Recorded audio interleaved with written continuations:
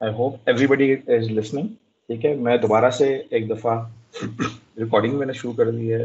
I just want to be very clear कि the file I shared with you is showing us the schedule जिसके दौरान on campus lab activities होंगी। ठीक है? तो आप लोगों ने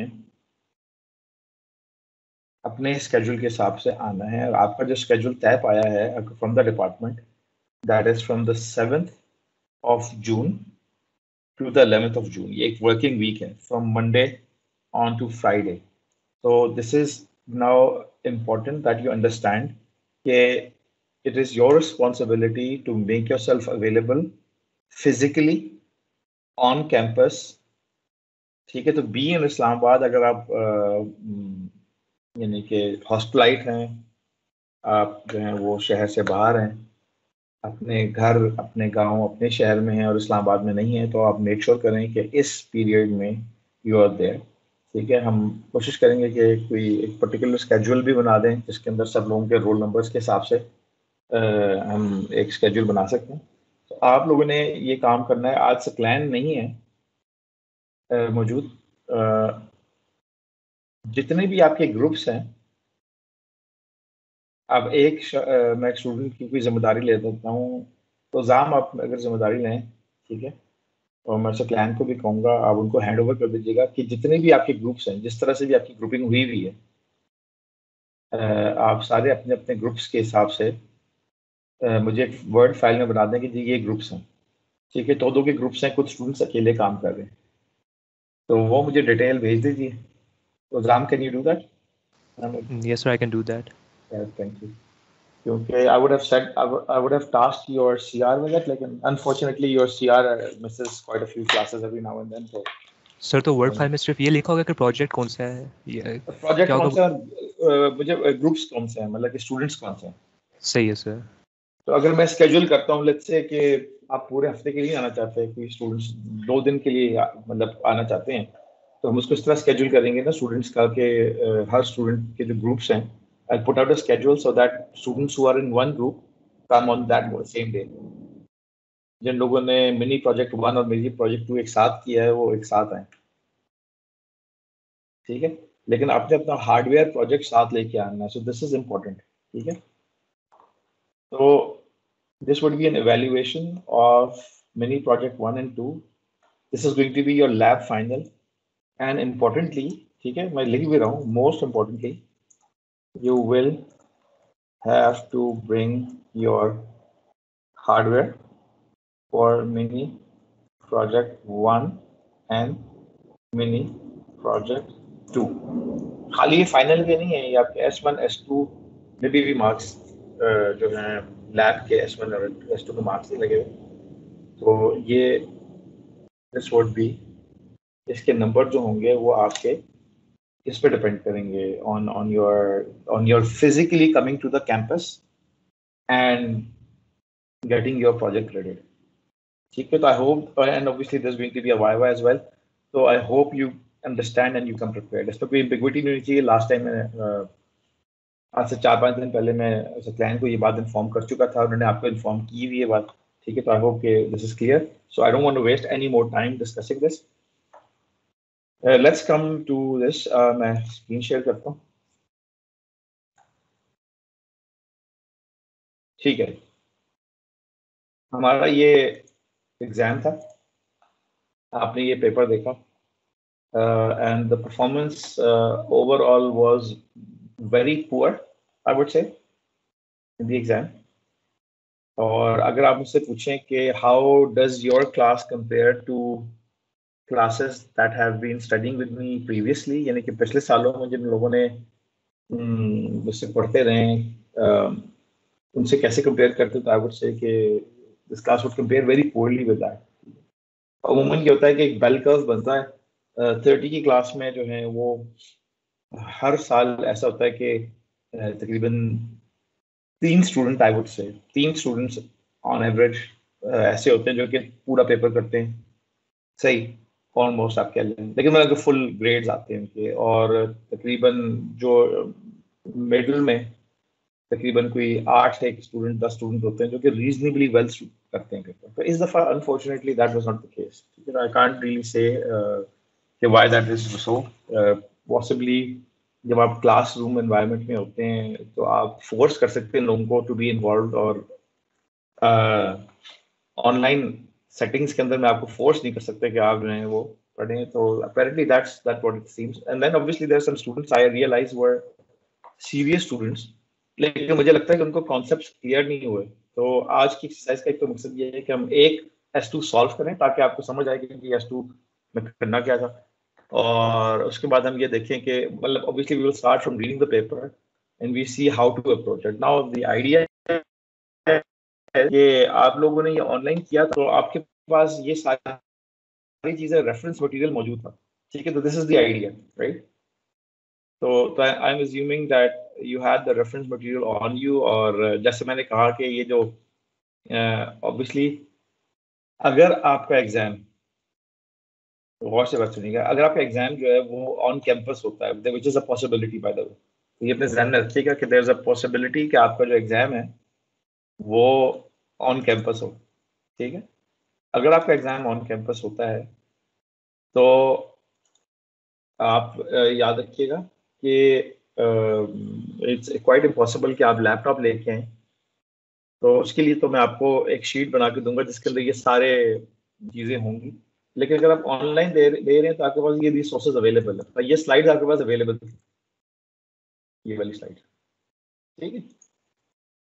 तो having said that we will assume कि जी uh, that you had at least these three slides available और उसके बाद आपने uh, ये ये काम किया। इसमें मैं एक और चीज़ ऐड कर दूँ ये मुझसे गलती हो गई थी मतलब it was clear to most people लेकिन इट वाज गलती यहाँ पे अगर आप याद करें आपको नज़र आ रहा है।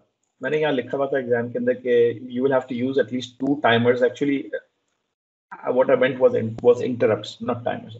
ठीक है? You don't need and by the way this was not a requirement it was a hint लेकिन obviously hint का मकसद ये होता है कि आपको help करे this should have said interrupts uh, जो आपको पेपर मिला था उसमें ये timers लिखा हुआ था तो I do apologize for that लेकिन एक दो students ने इस पे uh, they, um, I would say कि they had an issue with it ठीक तो ये समझ आ गया आपको सर इससे टाइम भी काफ़ी ज़ाया हुआ था हाँ चले कोई टाइम आपका देखिए, मैं बताऊँ, अगर आप दो टाइमर्स भी इस्तेमाल कर रहे होते तो कितना आपका टाइम ज़ाया होता है इस पर मैं आपको बताता हूँ, अभी आप देखें कि इसको सॉल्व मतलब इसमें दो टाइमर्स करने के वो भी नहीं थी। By the way if you had issue मुझे किसी ने मतलब मैसेज भी नहीं किया on the exam I was available I said अगर आप मुझे मैसेज करते हैं टीम्स के ऊपर तो I was available throughout the exam and I would have rectified that situation ठीक है? So coming back to this thing, let's look at the question. Question देख लें जी मैं इसको ठीक है जी। सो एक एनालॉग टेम्परेचर सेंसर है ठीक है तो बिस्मिल्लाह करके स्टार्ट करते हैं जी 1045 46 हो रही है ठीक है। साथ में एक्सप्लेन भी करूँगा। ठीक है जी तो एक एनालॉग सेंसर है टेम्परेचर सेंसर है it's connected to my 80 mega controller ठीक है यहाँ तक तो मुझे समझ आ रहा है। टेम्परेचर सेंसर जो है it can measure between zero and twenty to hundred degree centigrade अच्छा ये चले मैं बाद में एक्सप्लेन करूँगा। इसमें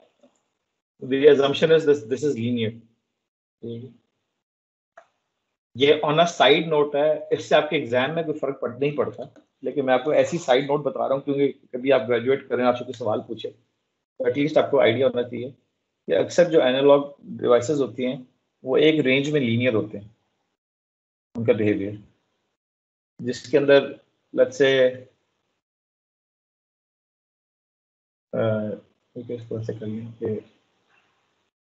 ये मैं ऑन अ साइड नोट मैंने एग्ज़ाम में भी डिस्कस नहीं करा, लेकिन आपको ये डिस्कस कर ठीक है? तो सो लेट्स से कि ये टेम्परेचर है। और ये वोल्टेज है।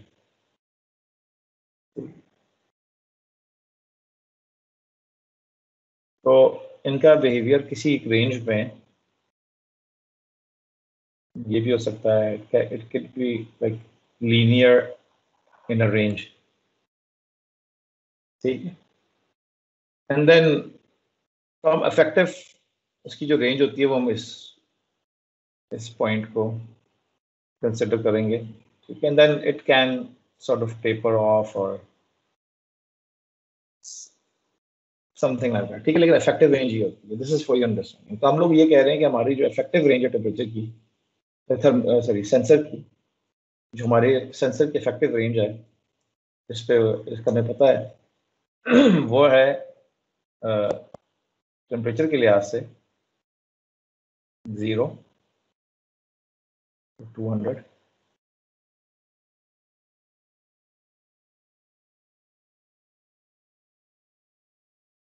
ठीक है एंड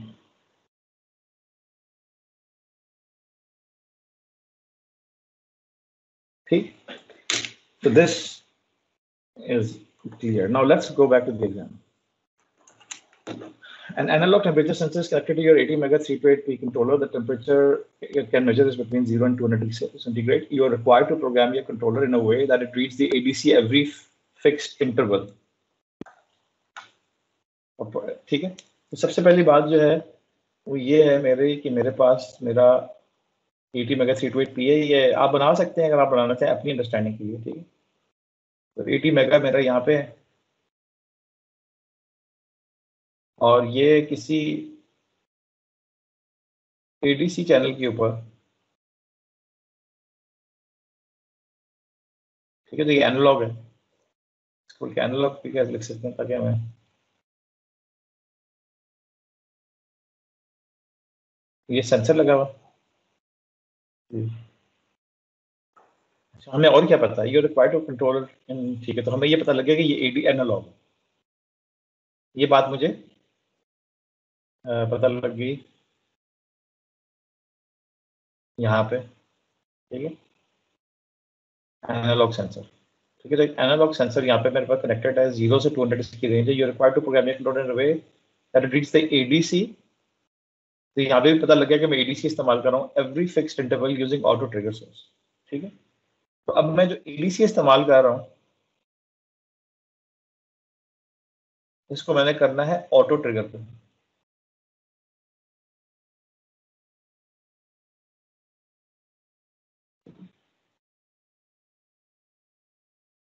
और हम ये बाद में देखेंगे कि ये रेफरेंस वैल्यूज़ क्या है, ठीक है? ऑब्वियसली मेरे पास कोई इंफॉर्मेशन है about what channel I am using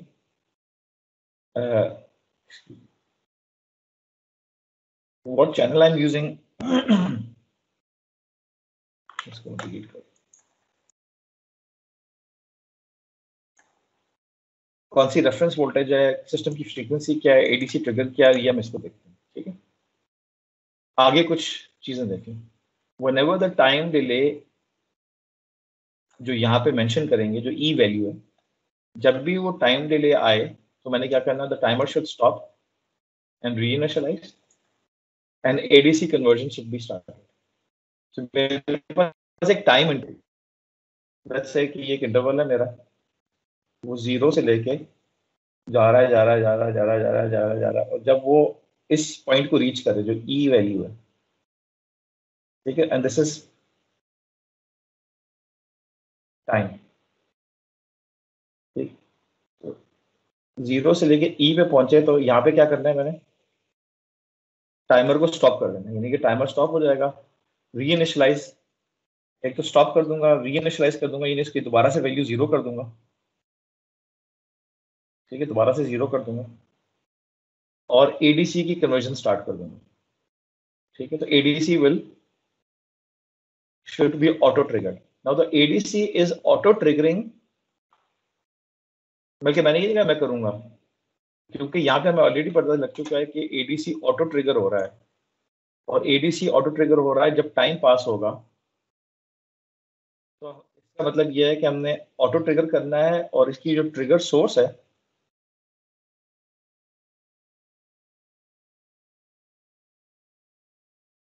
उसकी दो पॉसिबिलिटी हैं। ये दो पॉसिबिलिटीज हैं मैं आपको साथ साथ समझा रहा हूँ।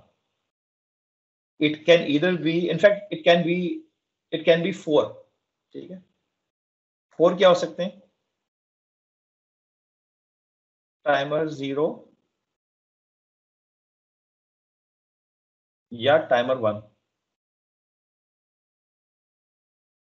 overflow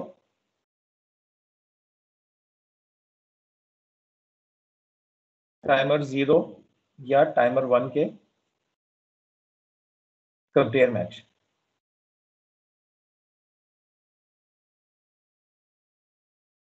गौर से सुने, इन दोनों में से कोई एक ऑप्शन मैं इस्तेमाल कर सकता हूँ, इन चारों में से बल्कि मैं कहना चाहिए ठीक है, इन चारों में से कोई एक ऑप्शन मैं इस्तेमाल कर सकता हूँ। लेकिन आगे हम जाके देखेंगे कि मैंने आपको यहाँ पे ये कहा हुआ है कि आपने T A C N T zero की value O C R zero A की वैल्यू और T I M S K zero की वैल्यू डालनी है। तो इससे हमें क्या चीज़ क्लियर है? कि we are using only timer zero तो इमीडिएटली जब आप ये सवाल का ये सब पढ़ेंगे तो आपको पता लग जाएगा कि टाइमर वन में हम नहीं कर रहे बिल्कुल। ठीक है तो टाइमर वन नहीं है। तो मेरे पास दो कैंडिडेट्स हैं। टाइमर ज़ीरो का ओवरफ्लो या टाइमर ज़ीरो का कंपेयर मैच ए इसके अलावा मेरी कोई ट्रिगर सोर्स नहीं है। ट्रिगर सोर्स का मतलब ये है कि हमने कहा था ना कि एडीसी जो है वो ऑटो ट्रिगर होगा। यानी कि एडीसी जो कन्वर्जन है वो ऑटोमेटिकली स्टार्ट करेगा। तो ऑटोमेटिकली कब स्टार्ट करेगा? जब कोई इवेंट होगा। ठीक है? तो जो ट्रिगर सोर्स इवेंट है, वो हमारा टाइमर है which is clear from this statement ठीक है?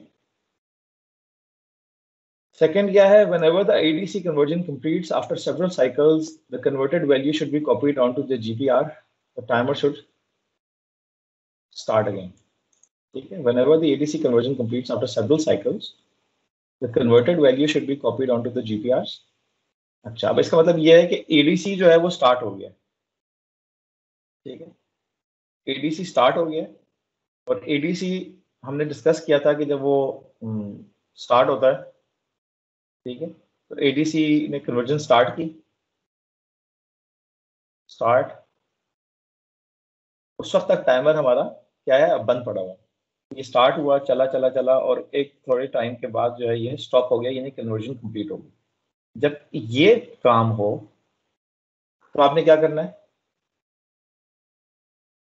जो वैल्यू कन्वर्ट हुई है, उसको आपने दोबारा से डालनी है किसके अंदर? इसमें डालना है दोबारा। इसको आपने उठाना है वैल्यू को और वैल्यू को उठा के आपने उसमें रखना है। किसमें बोला? किसी जनरल पर्पस रजिस्टर के अंदर रखना है। और उसके बाद आपने क्या काम करना है? सेकंड काम टाइमर को स्टार्ट करना है। ठीक है तो दिस इज़ द स्टोरी यहाँ तक समझ आ रही है? किसको समझ नहीं आ रही? अभी बता दे कि हमें समझ नहीं आ रही। जी क्लास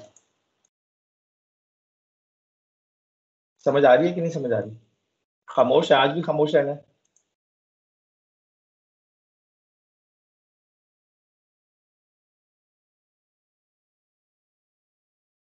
जी, क्लास। किसी को समझ नहीं आ रही, मैं ये ज्यूम करूँ आपकी खामोशी को आज।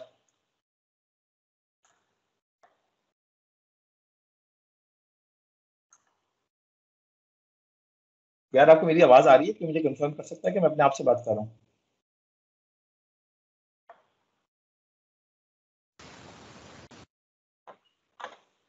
आवाज़ आ रही?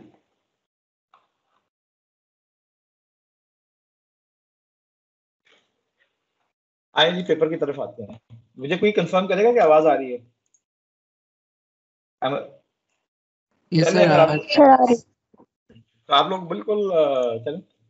लगता है कि आप सारे के सारे खामोश बैठे हुए हैं क्योंकि सबके जो है वो पेपर अच्छा हुआ होगा यकीन जी ठीक। तो या और इस कॉन्टेक्स्ट में अगर आप गौर करें ये जो ये कन्वर्सेशन बिल्कुल ऊपर हो रही है तो इस कॉन्टेक्स्ट में था कि आप दो इंटरप्ट इस्तेमाल करने मतलब लेकिन इट बिकम्स ऑब्वियस कि you need to interrupt at least दो टाइमर्स में ठीक। ना डिलीवरेबल क्या है? अब गौर करें कि आपने मुझे क्या डिलीवर करना है? आप लोगों ने मुझे क्या डिलीवर करना है? ठीक है?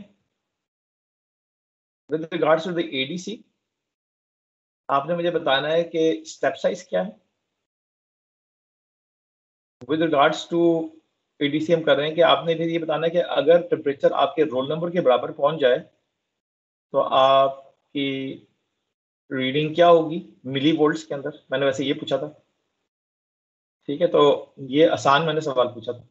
मिली वोल्ट्स में रीडिंग क्या होगी लेकिन अगर आप उससे आगे जाते तो होगी ठीक है। आ, फिर आपने बताना है कि एट इन रजिस्टर्स की वैल्यू बतानी है। और मोस्ट इंपॉर्टेंटली ये है कि फिर आपने बताना है कि आईबीटी का कोड लिखना है खाली और आपने आईएसआर का कोड लिखना है खाली। तो दो जो आईएसआर है उनका कोड लिखना था। तो ये एक आईएसआर था अगर आप और ये आईएसआर था। इन दोनों आईएसआर का आपने कोड लिखना है। ठीक है यही बात क्लियर है। तो सबसे पहले शुरू करते हैं। ये मुझे बताएँ कि जी इसमें से किसका कौन है हमारा कैंडिडेट सर अहमद उजाम मसूद अहमद उजाम मसूद ऊपर है रोल नंबर ये नंबर टू ये। ये वाला। अच्छा गुड ये हम, ये इंफॉर्मेशन ले लें, इसको मैं let's see if I can paste it somewhere यहाँ पे पेस्ट हो जाएगा कि नहीं? हो गया जी paste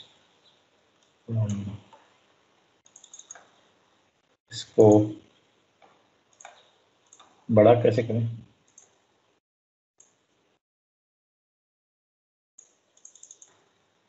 Me just see the one thing.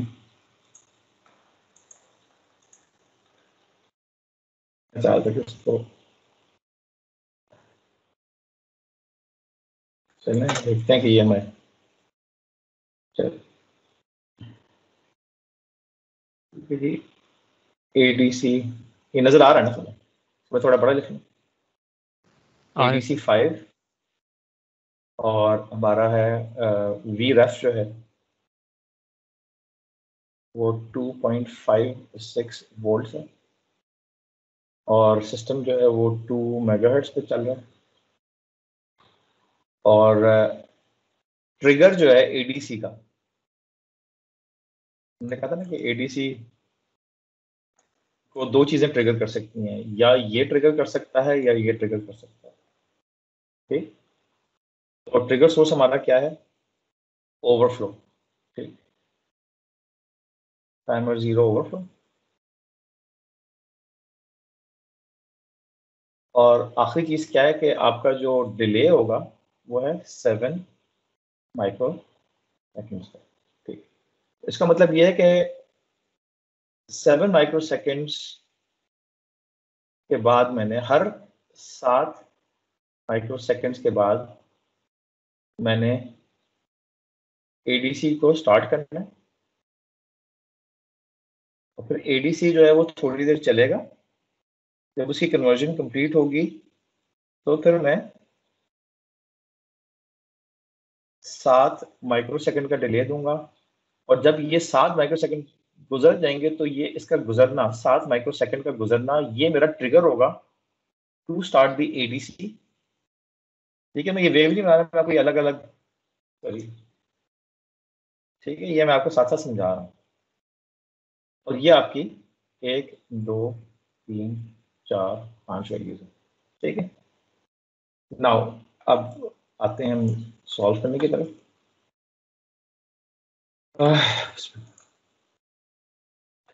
ठीक है जी। क्वेश्चन वन क्या है? स्टेप uh, साइज़ क्या होगा और रीडिंग uh, क्या होगी? ठीक है अब ये अलग अलग चीज़ें नंबर वन क्वेश्चन वन का ए पार्ट ये तकरीबन सबने किया स्टेप साइज़ क्या है? It will depend on two things एक हमारा वी रेफ का डिपेंड करेगा और एक हमारी रेजोल्यूशन उस पर डिपेंड करेगा uh, कि हमारा डेटा का साइज़ क्या है। हमजा डेटा का साइज़ क्या है? इसके अंदर वी रेफ तो इनका है 2.56 और डेटा का साइज़ क्या है उजाम डेटा कितने बिट्स का होता है हमारे यहाँ? एडीसी का? उजाम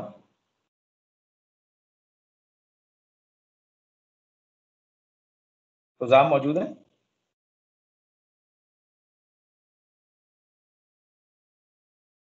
अहमद उजाम हाँ, ठीक है टेन बिट्स है।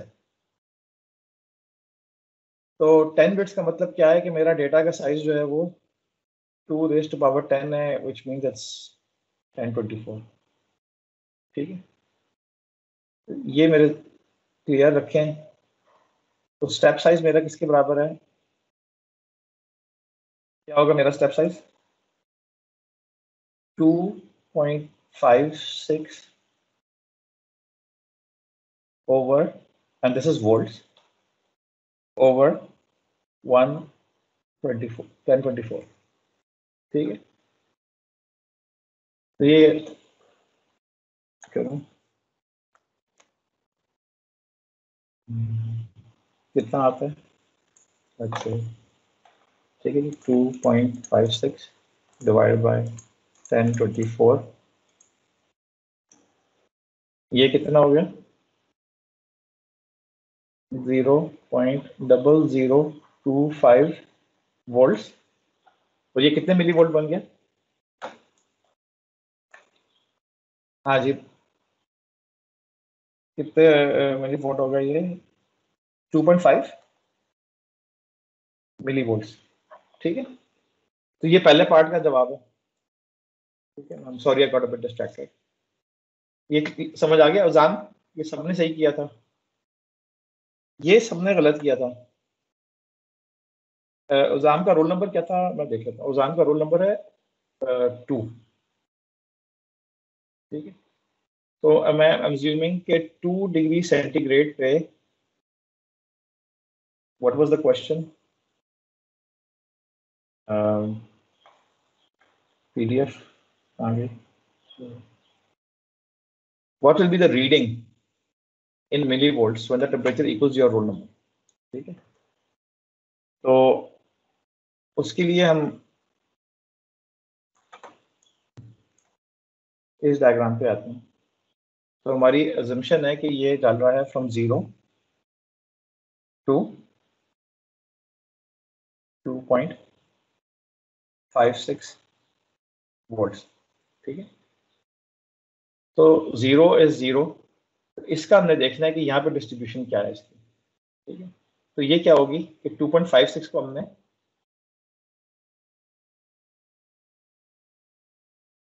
टू हंड्रेड से डिवाइड करना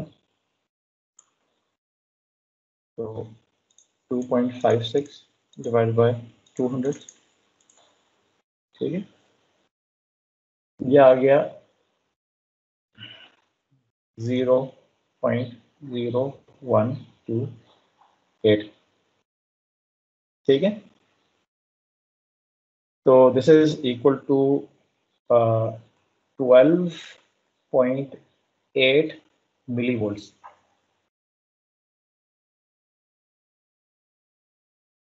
ठीक है?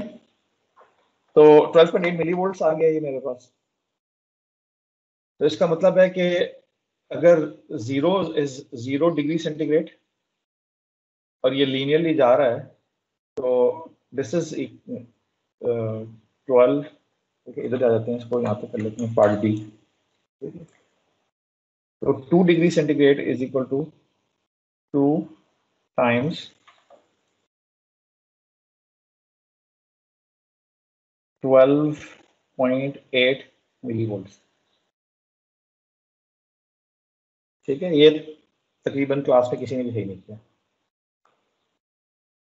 ये समझ आई है कि नहीं समझ आई? उजाम? जी सर आ गई है।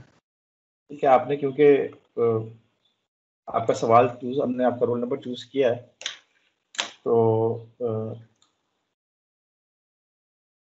ठीक है ट्वेंटी फाइव पॉइंट सिक्स ठीक है तो दिस इज़ 25.6 मिली वोल्ट्स ठीक है तो अब सवाल यहाँ पे खत्म हो जाता है। This is all I ask लेकिन अगर आप किसी ने ये काम किया तो उसको बोनस मार्क्स भी मतलब मिल सकते हैं लेटर ऑन भी। यानी कि लोगों ने, लेकिन बारह, एक स्टूडेंट ने किया था इसको, आगे तक। उन्होंने जो है वो ये भी किया कि जी 25.6 जो है, वो एडीसी में क्या होगा? ठीक है तो बेसिकली मैं आपको ये बता देता हूँ मैं आपको एक्सप्लेन कर रहा हूँ। ठीक है so this is not part of the discussion लेकिन आपका ये कंट्रोलर है, ये सेंसर है, ठीक है, और फ़र्ज़ करें, जो बाहर टेम्परेचर है, ये है टू डिग्री सेंटीग्रेड तो based on what we know of the sensor अगर यहाँ पे टू डिग्री सेंटीग्रेड होगा तो ये जो है 25.6 मिली वोल्ट प्रोड्यूस कर रहा होगा। ठीक है? 25.6 मिली वोल्ट प्रोड्यूस कर रहा होगा which represents two degree centigrade और यहाँ पे क्या होगा कि वो 25.6 मिली वोल्ट जो है, वो मैं रीड करूँगा और वो एक अलग वैल्यू होगी। वो वैल्यू क्या होगी? इसके हिसाब से आप इसको डिवाइड कर लेंगे। ठीक है? 2.5 मिली वोल्ट से इसको डिवाइड करें। ठीक है? तो 25.6 को स्टेप साइज़ से डिवाइड करेंगे तो ये वो डिजिटल वैल्यू होगी, यानी कि जो इसके अंदर वैल्यू आएगी 10 बिट की that will be equal to 25.6 millivolt divided by 2.5 millivolt. So this would be a number and this number is going to be go in here. तो यहाँ पे जो नंबर आ रहा है वो टू डिग्री सेंटीग्रेड जो है नहीं होगा ये बड़ा फंडामेंटल कॉन्सेप्ट है आपको ठीक है इस जगह जो वैल्यू स्टोर हो रही है ना दस बिट की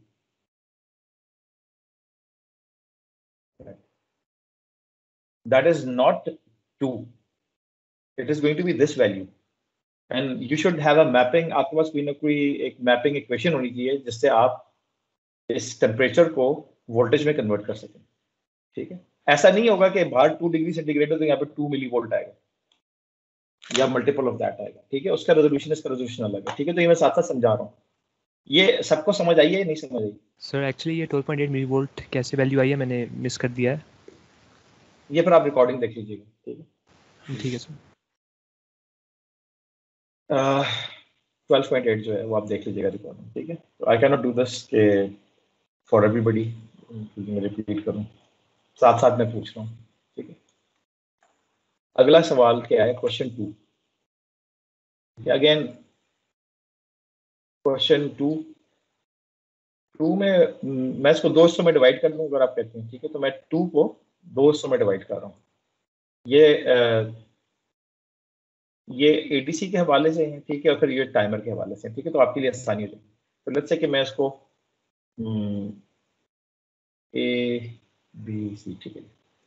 ए बी सी क्या है? वो क्या कह रहे हैं? A D C S R A A D C S R B ADMUX A D C S R A A D C S R B and ADMUX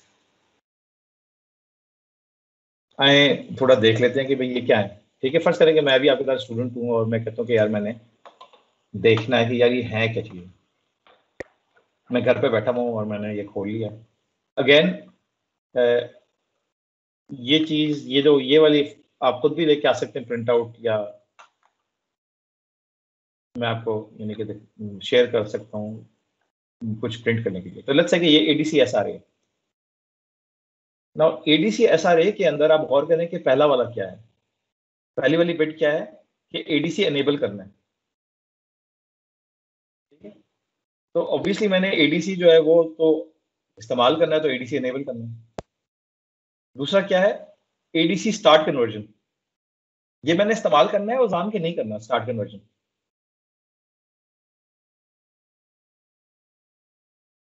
sir repeat करने के बाद। बेटा ये मैंने बिट वन करनी है कि नहीं करनी? एडीसी स्टार्ट कन्वर्जन वाली। सर ये ऑटो ट्रिगर है तो खुद तो बेटा ऑटो ट्रिगर मैं चूज़ करूँगा तो ऑटो ट्रिगर है। ऑटो ट्रिगर उसके अंदर कोई प्रॉपर्टी नहीं है एंट्रेंस से। अब गौर करें आपने वन किया था अपने पेपर के अंदर। अब गौर करें कि दो ऑप्शन है मेरे पास। अगर आपने क्लास ध्यान से अटेंड की होती तो आपको याद होता। You can either start the conversion explicitly और you can do an auto trigger अब बताओ इन दोनों ऑप्शंस में से हमने कौन सी चूज़ की है? इस क्वेश्चन पेपर में कौन सी है? ऑटो ट्रिगर है कि मैंने स्टार्ट करनी है कन्वर्जन सर्च पेपर में ऑटो ट्रिगर है। ऑटो ट्रिगर है ना? तो ये वन कभी भी नहीं हो सकती। ये बिट सिक्स आप कभी भी वन नहीं कर सकते। ठीक है? तो ये बिट सिक्स जो है ये ज़ीरो होगी और बिट फाइव जो है ये वन होगी। ठीक है? एक आज स्टूडेंट्स ने ना इस तरह किया भी है मैं इसको किसी तरह कर लेता हूँ। One zero, one. ये है कि जी इनेबल करना है। ये है ऑटो ट्रिगर ठीक है। आगे देखें। एडीसी के इंटरप्ट फ्लैग अब इस ये फ्लैग है ना। फ्लैग की वैल्यू का मुझे क्या पता? ठीक है। I don't know anything about the flag तो फ्लैग तो ऑटोमेटिकली सेट होगी। तो फ्लैग की वैल्यू मैंने क्या की? ज़ीरो की।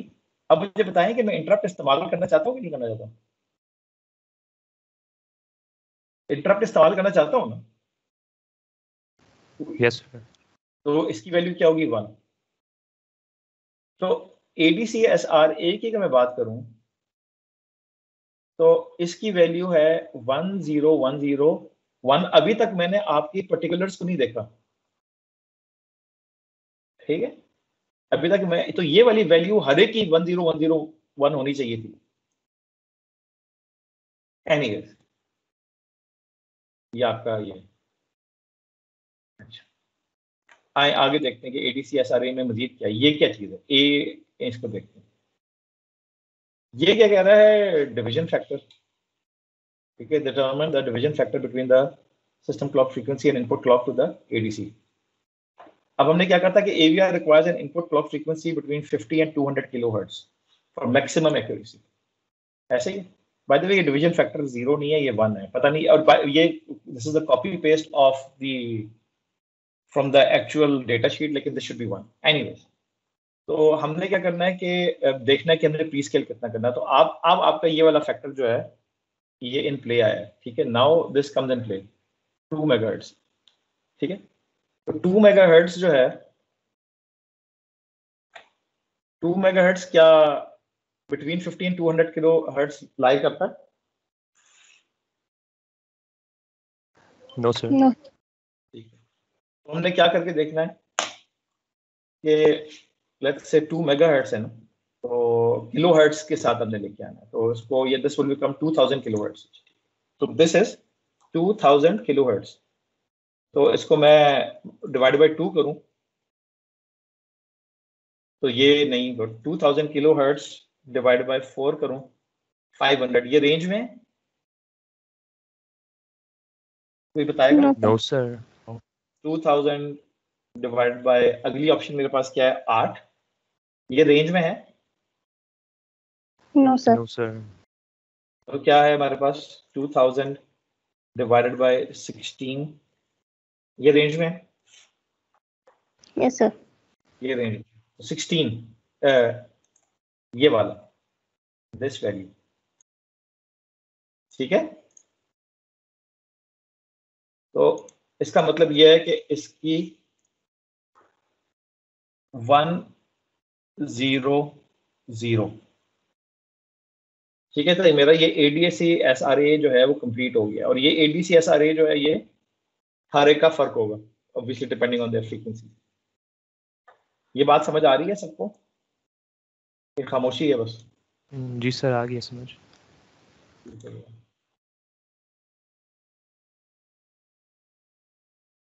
समझ आ गई मुबारक अच्छा जी अगला क्या है? A D C S R B A D C S R B क्या चीज़ है भाई?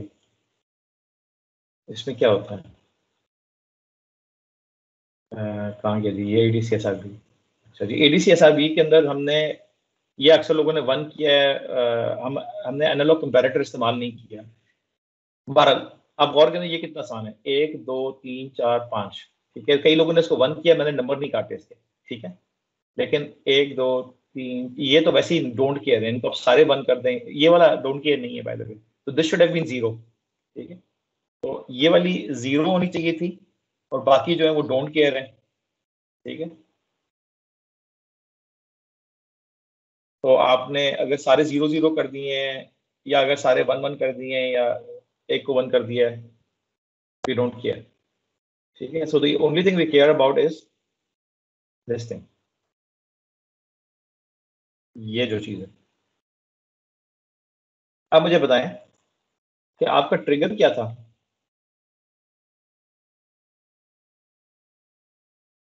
ट्रिगर था timer overflow timer zero overflow तो भाई ये सॉरी ये टाइमर ज़ीरो ओवरफ्लो कौन सा वाला जी? ये वाली value yes sir one zero zero तो मेरा A D C S R A जो है वो वन ज़ीरो ज़ीरो तो मेरा हो गया। A D C S R B भी हो गया राधा ठीक है are we happy with this yes sir अच्छा जी अगला क्या था? एड मक्स ये बड़ा आसान है।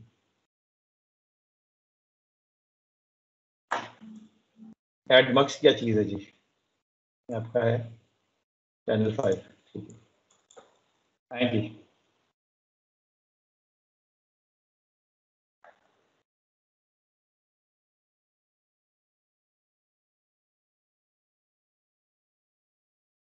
ADMUX के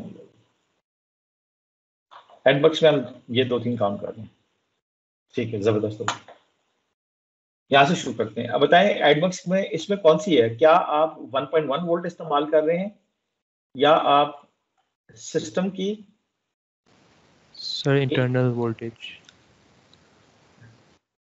internal voltage इस्तेमाल कर रहे हैं। 1.1 वोल्ट सर 2.56 इस्तेमाल कर रहे हैं। तो 2.56 के लिए क्या करना पड़ेगा?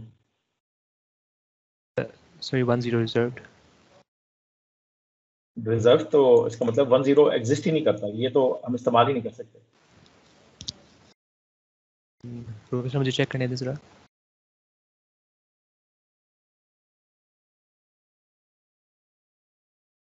आप ए रेफ इस्तेमाल करेंगे।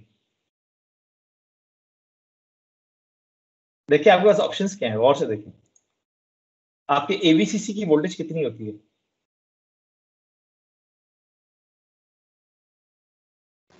जी सर ये रेफ इस्तेमाल करेंगे मैं कंफ्यूज हो गया था। अच्छा एबीसीसी की वोल्टेज कितनी होती है? फाइव वोल्ट ठीक है? एबीसीसी होता है फाइव वोल्ट सुन रहे ना मेरी बात जी sir So I'm not using 5 volts. I'm not using 1.1 volts. I'm using 2.56. ठीक है तो मैं एक एक्सटर्न जो है एरएफ के ऊपर मैं वोल्टेज ले रहा हूँ तो मेरी यहाँ पे ऑप्शन क्या होगी ज़ीरो ज़ीरो ठीक है तो एड मक्स जो है सबसे पहले उसके अंदर होगा मेरा ज़ीरो, बल्कि इसको मैं रेड कर लेता हूँ ताकि क्लियर है। Zero zero. एडलार इरेलीवेंट है मेरे लिए, ठीक है? Let's say we don't care about what ADLAR is ठीक है? इसको एक्स कर लें। आपने एक्स का मतलब ये है कि अगर आपने ज़ीरो लिखा है या वन लिखा है, मैं आपके कुछ नहीं कर दूँगा। फोर जो है वो, ठीक है? और बताएँ। अब ये मैक्स की वैल्यू आ गई। ये। तो आपका चैनल कौन सा था? एडीसी फाइव एडीसी फाइव का क्या है? ज़ीरो वन ज़ीरो वन यही है? एग्री करते हैं? सर ये चैनल फाइव कैसे है? कैसे है? क्योंकि आपको ये था। मैं आपको बल्कि वो भी खोल देता हूँ ताकि आपको ज़्यादा आसानी है। चैनल फाइव कैसे है? एडीसी चैनल और कहाँ है आपका नाम? मोहम्मद उजाम. एडीसी फाइव ये नज़र आ रहा है? यस सर ये मैंने पेपर में से मिस कर दिया था। ठीक है। तो आपका एडीसी फाइव है क्योंकि आपका एडीसी फाइव है तो हम चले आते हैं इधर और हम कहते हैं ज़ीरो वन ज़ीरो वन ठीक है। तो इसको हम कहते हैं जी ज़ीरो वन ज़ीरो वन। ये मेरा हो गया ये। ठीक? टू। क्वेश्चन टू को ही कैरी ऑन करते हैं। ठीक है, अब हमने निकालना है। What is the question T C N T zero O C R zero A T I M S K zero ठीक है? तो let's say T C N T zero O C R zero A and T I M S K. अब ये वाला तो बहुत आसान था, ये भी आसान था। आपके पास डिले की, अभी गौर से प्लीज़ सुनिएगा, डिले की मैं बात कर रहा हूँ टाइमर बल्कि टाइमर ज़ीरो डिले के दो ऑप्शन एक ऑप्शन है कंपेयर ओवरफ्लो वाला, एक ऑप्शन है ओवरफ्लो और एक ऑप्शन है कंपेयर मैच यहाँ तक क्लियर है?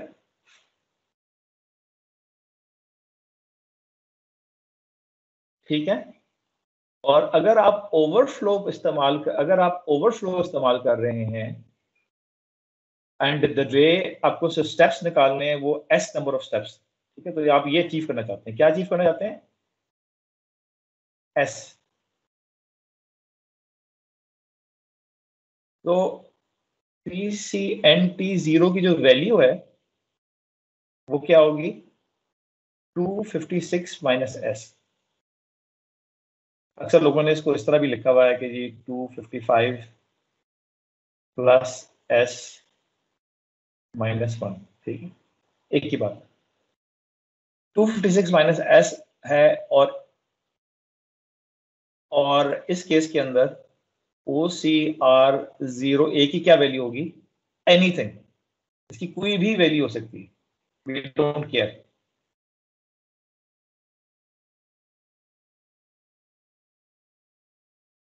समझ रहे बात को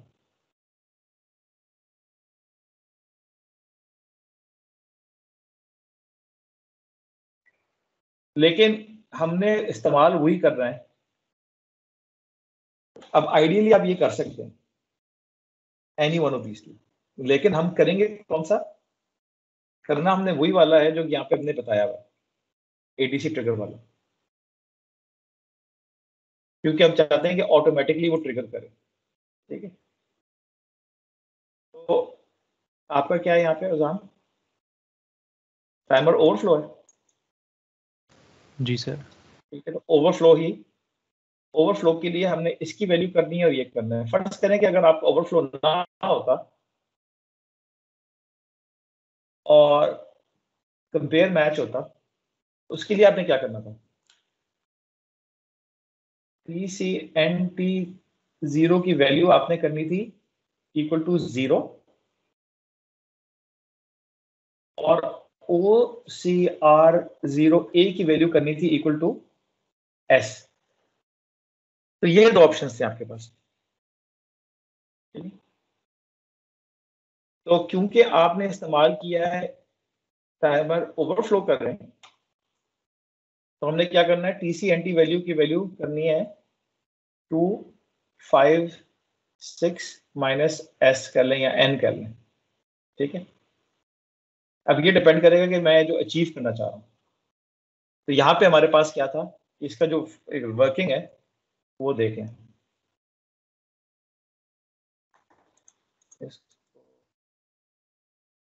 ठीक है? हमारी वर्किंग जो है, वो क्या है? मैं इसको थोड़ा सा पीछे कर लो। आपका है कितने पे? टू मेगाहर्ट्ज पे थे। ठीक है। Let's look at the working so you are at two megahertz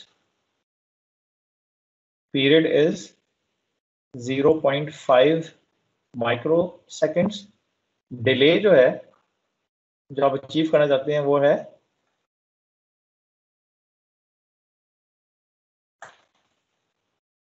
seven micro seconds ठीक है? तो जो एस वैल्यू है या एन वैल्यू है, उसको एन कह लें या एस कह लें, ये क्या होगी? फोर्टीन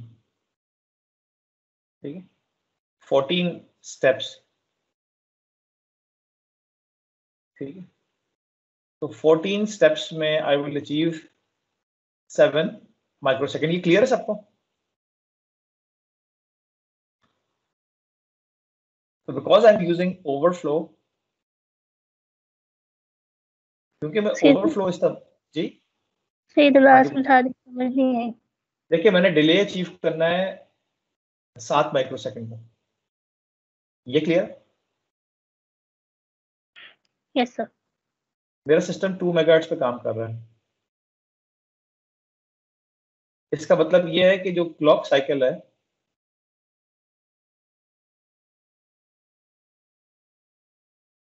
ये इंटरवल है 0.5 माइक्रोसेकंड का।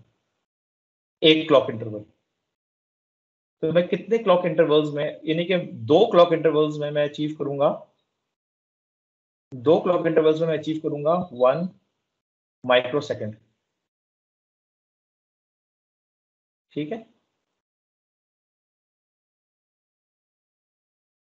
समझ आ रही है कि नहीं समझ आ रही? सवाल किसने पूछा था? रीच अरीज ठीक है। तो अरीज दो माइक्रोसेकंड में आप अचीव करेंगे। तो कि कितने मुझे चाहिए? इसको करके देखते हैं seven divided by zero point five. ये किसके बराबर आएगा? तो मुझे कितने चाहिए? यानी कि दो पे एक माइक्रो माइक्रोसेकंड अचीव करूँगा। चार पे मैं दो माइक्रोसेकंड अचीव करूँगा, समझ रहे हो आपको बेसिकली आपने ये काम करना अगर मेरा एक स्टेप जो है, यानी कि मेरा जो टाइमर है, वो हर साइकिल पे बढ़ रहा है तो कितने स्टेप्स बढ़ेगा तो मैं सेवन माइक्रोसेकंड अचीव करूँगा। देखिए अगर मेरा पीरियड जो है वो वन माइक्रो सेकेंड होता तो टाइमर जो है मुझे चलाना है सात स्टेप्स ठीक है? अगर मेरा पीरियड ज़ीरो पॉइंट कितने स्टेप्स होंगे? Seven सेकंड डिले हाँ। For seven microsecond sorry for seven for seven microseconds अगर वो वन माइक्रोसेकंड है तो सात स्टेप चलेगा। अगर ज़ीरो पॉइंट फाइव माइक्रोसेकंड है तो ये फोर्टीन स्टेप चलेगा। समझ आ रही? नहीं अभी भी नहीं आ रही। आ गई है। आ गई है ठीक है। तो 14 स्टेप्स मुझे चाहिए। इसका मतलब है हमने क्या कहा था कि 256 minus fourteen is equal to two forty two तो टी सी एन टी की वैल्यू जो होगी वो 242 होगी। तो ये क्या करेगा? अगर आप गौर करें ये 242 है। तो ये 243 पे जाएगा। 44, 45, 46, 47, 48, 49, 50, 51, 52, 53, 54, 55, 56 ठीक है? 56 नहीं है सॉरी 55 पे जाके और फिर ये ज़ीरो पे चला जाएगा ठीक है? तो ये, ये ज़ीरो पे चला जाएगा। तो ये जो इंटरवल है, ये इंटरवल जो होगा, ये होगा सात माइक्रो सेकेंड का। ठीक है? जिसके अंदर यहाँ पे 14 स्टेप्स हैं।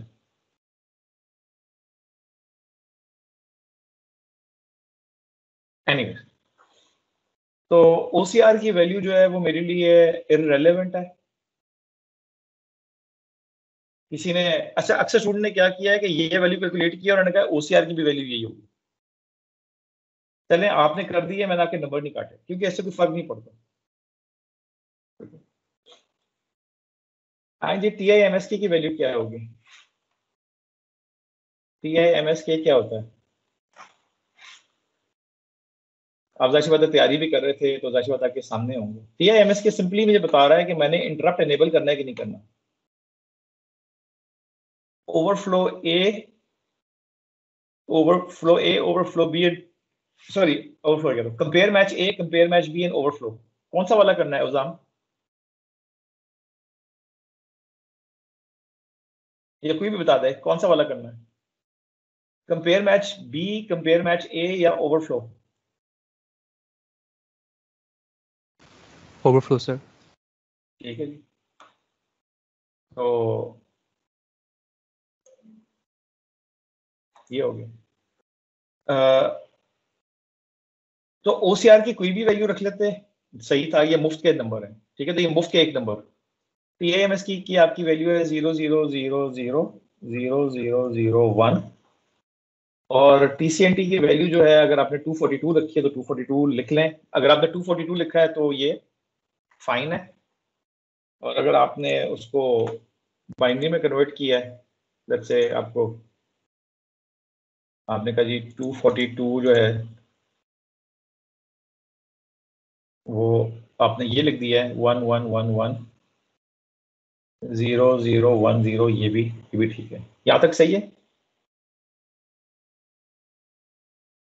सर जो T C N T zero में जो वैल्यू होती है इसका मतलब यही होता है ना कि इस वैल्यू से वो काउंटिंग स्टार्ट करेगा। अगर अगर मैंने टाइमर स्टार्ट किया इस वैल्यू के साथ जी। तो फिर ओ सी आर ज़ीरो में तो फिर उस पे होना चाहिए टू फिफ्टी सिक्स ना?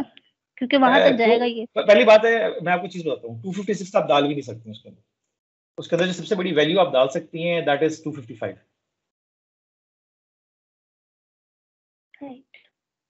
पहली बात ये समझ आ गई है ये पहली बात। है दूसरी बात ये है कि मैं कंपेयर मैच कर ही नहीं रहा हूँ। मेरा अरीज बल्कि ये सब लोग प्लीज़ गौर से सुने अरीज आपने भी गलती की है अपने पेपर में। मेरा इवेंट क्या है? मेरा इवेंट कंपेयर मैच है कि मेरा इवेंट ओवरफ्लो है? ओवरफ्लो है सर अरीज से पूछ रहा हूँ। जी अरीज आपको आवाज़ आ गई ओवरफ्लो तो जो ओवरफ्लो का इवेंट है क्या वो डिपेंड करता है ओसीआर की वैल्यू पे?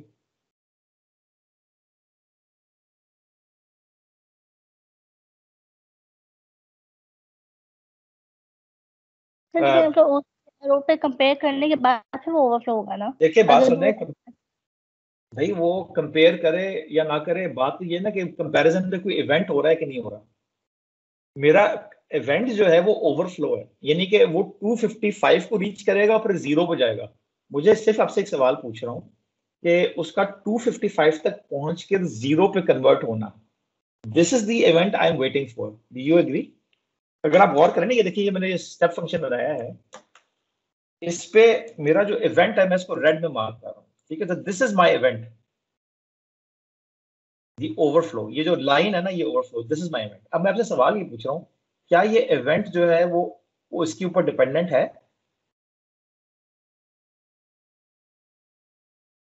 No sir no do you agree अब मैं आपको अल्टरनेटिव बताता हूँ प्लीज़ फ़र्ज़ करें इन्हीं को ओवरफ्लो का आता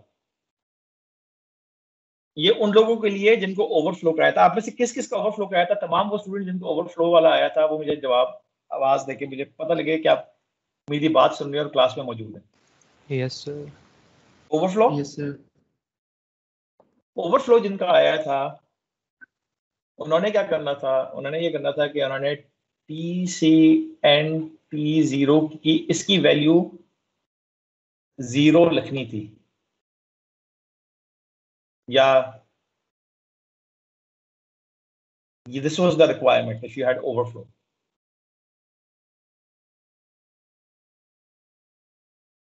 और ओ सी आर ज़ीरो मैं इसी सवाल के लिए जूम कर रहा हूँ। Seven microsecond at two megahertz ठीक है this is my assumption right now इस प्रॉब्लम के लिए ओ सी आर ज़ीरो ए की वैल्यू जो है वो फोर्टीन होनी थी। Fourteen fourteen in base ten या अगर आप चाहते हैं कि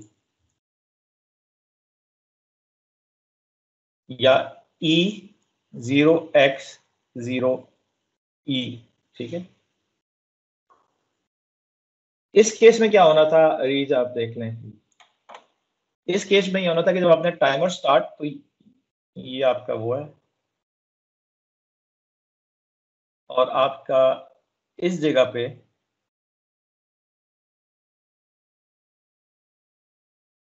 ओ सी आर ज़ीरो ए है। आप टाइमर जो है वो, और ये जो ये जो ग्राफ है, ये है let's say T C N T zero का, ठीक है, ये स्टेप्स हैं। इसने स्टार्ट जो है वो हमेशा क्या कहाँ से करना था? ज़ीरो से। ये देख ली? इसको इसको अगर मैं लाइन को थोड़ा सा ऊपर कर दूँगा आपके लिए ताकि आपको, ठीक है? इसने स्टार्ट हमेशा ज़ीरो से करना था। और ज़ीरो से स्टार्ट करके एक, दो, तीन, चार, पाँच, छ, सात, आठ, नौ, दस, ग्यारह, बारह, तेरह, चौदह। चलो मैं इसको नीचे कर देता हूँ। ये ले। ठीक है? तो ये चौदह जो है, इसका टाइम इंटरवल कितना होना था? मैं आपको बता रहा हूँ कि जो आज हम क्लास कर रहे हैं this is very important for all of you if you want to understand this concept overflow के केस में ये टाइम इंटरवल रीच कितना बना था? सेवन माइक्रो सेकेंड इस केस में आपने क्या करना था कि आपने फिर इसको री इनिशलाइज करना था टीसीएनटी को ज़ीरो को, और ओसीआर को आपने कुछ भी नहीं करना। ओसीआर जो है वो, उसकी वैल्यू है फोर्टीन तभी ये फोर्टीन स्टेप्स में यहाँ पहुँचा। और फोर्टीन पे हमने क्या किया कि टाइमर को रोक दिया और सेवन माइक्रोसेकंड मेरे गुजर चुके हैं और ये मेरा जो मैच है, ये जो मैच हो रहा है मेरा, मैं इसको रेड में करता हूँ, ये जो बोला है, ये मेरा इवेंट होना था। बात समझ आ गई सो ये दो अलग अलग अप्रोचेस थी depending on what you are doing तो ये बताएँ कि टीसीएनटी ज़ीरो की वैल्यू ओसीआर ज़ीरो ए की वैल्यू टीआईएमएसके की वैल्यू ये हो गई है? समझ आ रही है? चले जी, आपकी खामोशी को मैं हाँ समझता हूँ। मैं रिज्यूम करता हूँ कि सबको समझ आ रही कहाँ गया जी अगला सवाल मैं जी छह नंबर आ गए जी आठ नंबर आ गए अच्छा उसके बाद ये देखें अगला सवाल क्या है write the code for IVT क्योंकि हम असेंबली में लिख रहे हैं तो write the code for IVT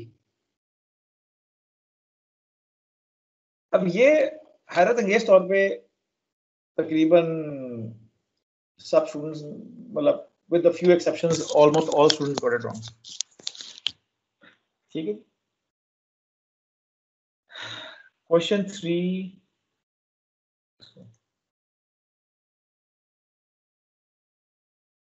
IVT assembly में अब मैं आपको चीज़ बता रहा हूँ। ये आप लाइन नोट कर रहे हैं? ये लाइन नज़र आ रही है सबको? Yes yes, sir let's say कि मैं यहाँ पे एक लाइन ड्रॉ कर रहा हूँ, यहाँ पे लाइन ड्रॉ कर रहा हूँ। इस सवाल का जवाब जो है ना, ये इन दो लाइनों के दरमियान में आएगा, इंशाल्लाह। ठीक है? ये इसकी मैं खास वजह लिख दूँगी इस बात कि। इन दोनों लाइनों के दरमियान में क्यों आएगा? मैं एक तो एडीसी का इंटरप्ट इस्तेमाल करूँगा और कौन सा इंटरप्ट इस्तेमाल करूँगा? इस केस में, उजान के सवाल के केस में मैं कौन सा इंटरप्ट इस्तेमाल करूँगा? एक एडीसी का इंटरप्ट है और दूसरा इंटरप्ट कौन सा? है टाइमर ओवरफ्लो टाइमर ओवरफ्लो इस केस में। और अगर इस केस में होता तो मैं क्या कर रहा होता? कंपेयर मैच इस्तेमाल कर रहा हूँ। ठीक है? ये टाइमर ओवरफ्लो है और इस केस में टाइमर सॉरी कंपेयर मैच तो टाइमर ओवरफ्लो दूसरा इंटरप्ट कौन सा इस्तेमाल कर रहा हूँ? कितने इंटरप्ट इस्तेमाल कर रहा हूँ मैं?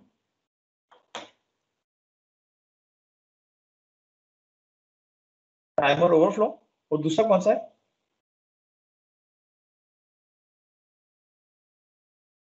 हाँ जी बोले दूसरा कौन सा है? हाँ, खामोश। एडीसी कन्वर्जन ठीक है। अब मैं यहाँ पे रेडिकुलस किस्म के नाम लिखूँगा ताकि आपको क्लियर हो कि नामों का से कोई ताल्लुक नहीं है। बेसिकली आपने कहीं पहुँचना है। तो timer zero overflow ADC conversion अच्छा। तो यहाँ पे मेरी एवीटी के अंदर कितनी एंट्रीज होंगी? O R G dot zero X zero zero और मैं कर दूँगा जी आर जंप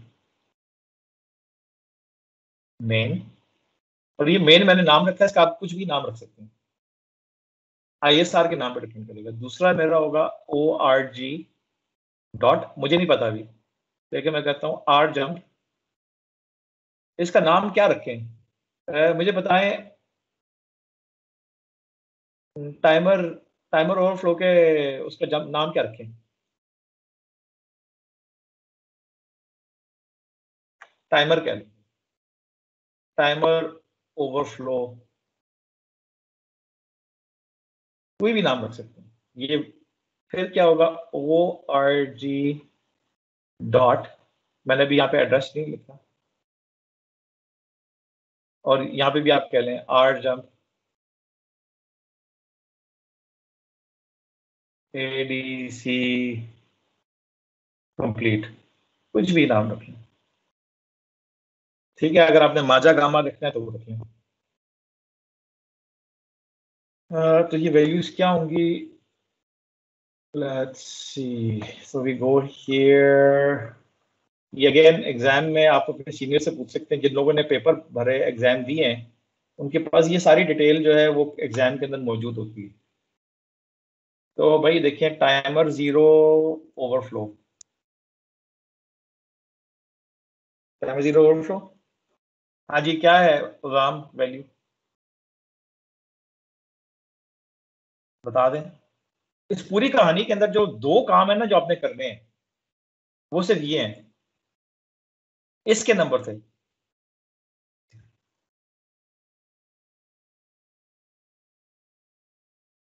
यूँ कर लें या ये भी कर लें, बात तो एक ही है। ठीक? सॉरी टू ज़ीरो है। एक्सक्यूज तो double zero two zero double zero करना चले और एडीसी कंपेयर वाला कौन सा? एडीसी कन्वर्जन कंप्लीट सर ये है एडीसी कन्वर्जन कंप्लीट तो इसकी वैल्यू होगी जी zero X zero zero two A ये मैं आपको मज़े की बात बताता हूँ विद वेरी फ्यू एक्सेप्शन ये सबने गलत किया। और स्पेशली भाई मैं अपने जो हमारे बाकी स्टूडेंट्स हैं, मैं मुखातिब करके मेहर आपको कह रहा हूँ, मोहम्मद शाहजेब आपको कह रहा हूँ, दानियाल आपको कह रहा हूँ हमारे यानी कि जो स्टूडेंट्स हैं, आज इस वक्त इतने ही बहुत बैठे हुए हैं। शाहजेब को इसलिए कह रहा हूँ कि शाहजेब उस ग्रुप में शामिल था जो कि छः सात लोगों ने मिलकर पेपर किया था। तो बेटा जिनके साथ आपने मिलकर पेपर किया था, शाहजेब, उनको बता दीजिएगा, ये चीज़ सारी, ठीक? तो मैं यहाँ डिस्कस कर रहा हूँ। दिस इज़ द एंड इसके बाद अगर किसी ने यहाँ पे मेन लिखा है, मैं आपको ये बताना चाहता हूँ यहाँ पे किया क्या है स्टूडेंट्स यहाँ पे उन्होंने मेन लिख के और फिर यहाँ बहुत सारे एल डी आई किए हैं, कुछ स्टैक पॉइंटर हाई को सेट किया स्टैक पॉइंटर लो को सेट किया, ये सारे काम करते रहे बहुत लंबे से उन्होंने कोड लिखा। मुझे बताएँ कि ये कोड रिक्वायर्ड था कहीं पे? Uzam did I ask for anything other than the IBT no sir फिर अगर आप अपना टाइम जाया करना चाहते हैं तो ये आपकी सबकी जो भी टाइम जाया करना चाहता है मैं नहीं कह रहा कि आपने किया या नहीं किया। मैं ये कह रहा हूँ कि जो ये टाइम जाया करना चाहता है तो ये उसकी चॉइस है। मैंने तो कहा था कि मुझे आईवीटी चाहिए। और आप गौर करें ये तो मैं डिस्कस कर रहा हूँ आपके साथ। मैं आपको चैलेंज करता हूँ ये हमारी डिस्कशन हुई है। ठीक है, मैं आपको चैलेंज करता हूँ कि आप एक काम करें कि क्वेश्चन पेपर आपके पास मौजूद है। आप किसी और का पेपर करें और अब आप करें। एक्चुअल अटेम्प्ट में कितना टाइम लगेगा मतलब आप गौर करें, हम कर क्या रहे मैं आपको प्रोग्राम लिखने को, अभी तक मैंने आपको कोई प्रोग्राम लिखने को नहीं कहा। मैंने कहा कि स्टेप साइज़ कैलकुलेट करें वोल्टेज निकालें रजिस्टर्स की वैल्यू डालें टीसीएनटी की। देखिए, अगर आपको मैं कहता ना प्रोग्राम लिखो तो प्रोग्राम में भी आपसे रिक्वायर करता ना कि एडीसीएसआरए की प्रॉपर वैल्यू एडीसीएसआरबी की प्रॉपर वैल्यू एडबक्स की प्रॉपर वैल्यू टीसीएनटी की प्रॉपर वैल्यू ऐसे ही होता कि नहीं होता? अग्री करते हैं आप लोग? ये खामोशी है। हमजा, आपसे पूछ लो। मेहर, आपसे पूछ लो। ऐसे होता नहीं, आपको करने पड़ते हैं। मैंने तो आपका काम आसान किया आपको तो कोई प्रोग्रामिंग ही नहीं करनी पड़ रही। आपने मुझे सिर्फ़ इनकी वैल्यूज़ बतानी है। तो अभी तक हमने कोई प्रोग्रामिंग की नहीं है। फिर मैंने आपको कहा कि जी आई लिखें। तो ये मेहर मेरा ख्याल आपकी शायद सही थी, अगर मैं, आपने यार कुछ किया था। लेकिन यार, ये आपने आईबीटी लिखनी है, इसके अलावा कोई काम नहीं करना। अब आया है प्रोग्रामिंग ठीक है? समझ आई है कि नहीं समझ आई? बहुत ही आपकी क्लास जो है ना माशाल्लाह से मैं कहूँगा कि लेजेंडरी है। बात बोलते नहीं आप लोग। समझ आ रही है नहीं समझ आ रही? देखिए अगर आपको समझ सब कुछ आ रही है तो मेरा ख्याल है कि मैं रिविजन की क्लासेस नहीं करूँगा। इसका मतलब है कि सब के प्रोग्रामिंग जो है वो ऑन टॉप है। आपको मेरी रिविजन की क्लासेस की ज़रूरत नहीं होगी। मैं यही इसका मतलब ले सकता हूँ। ये मतलब ले लूँ? Agree that i don't have to do any revision classes? So that's no please भाई आपको सबको आता है ना? मैं सवाल पूछता हूँ समझ आ रही है कोई जवाब नहीं देता। कोई फिर मैं कहता हूँ किसी को नहीं समझ आ रही सवाल पूछे कोई बोलता नहीं है। तो इसका मतलब है कि आप सबको आ रहा है सबको समझ आ रहा है। मुझे क्या ज़रूरत है कि मैं अपना गला साड़ू? जबकि आप लोग माशाल्लाह से इतने काबिल हैं सारे के सारे। या आप लोगों की इतनी ईगो है कि आप लोग बोल नहीं सकते।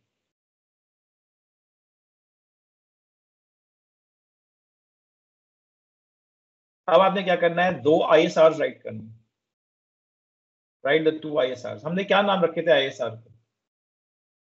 एक का नाम हमने रखा था पीओ एफ़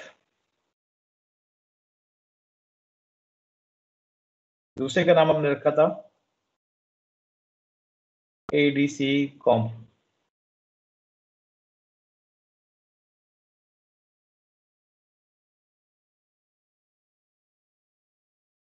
ठीक है? यही नाम है।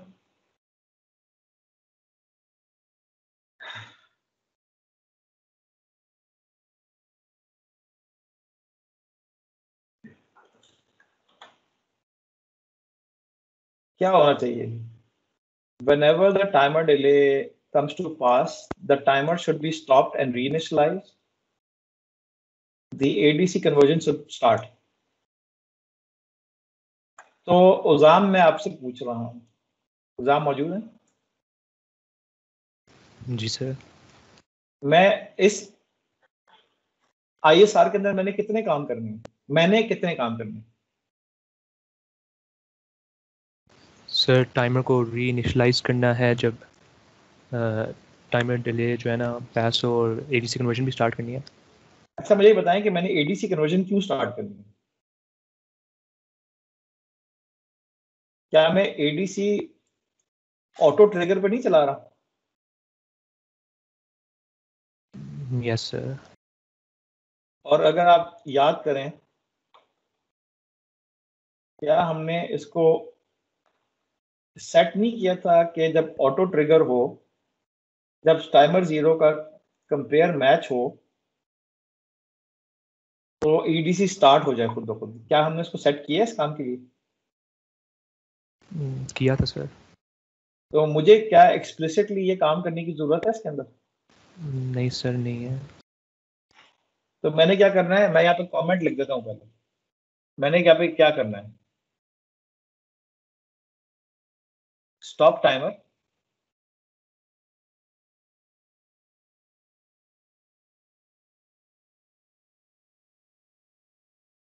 ठीक है? और दूसरा काम क्या करना है? टाइमर को स्टॉप करना है। और दूसरा काम क्या था? Reinitialise T C N T zero ठीक है? ये दो काम मैंने करने एडीसी कंपेयर में क्या करना है?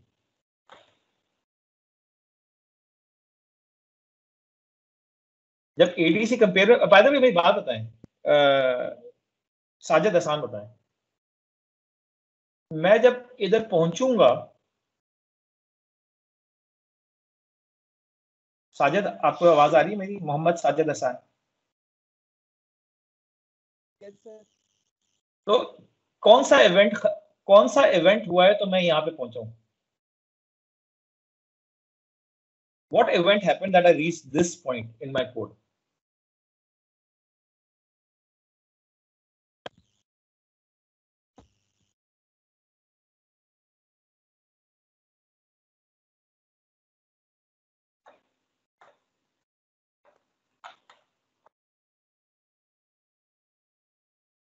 बता दें यार क्या हुआ है?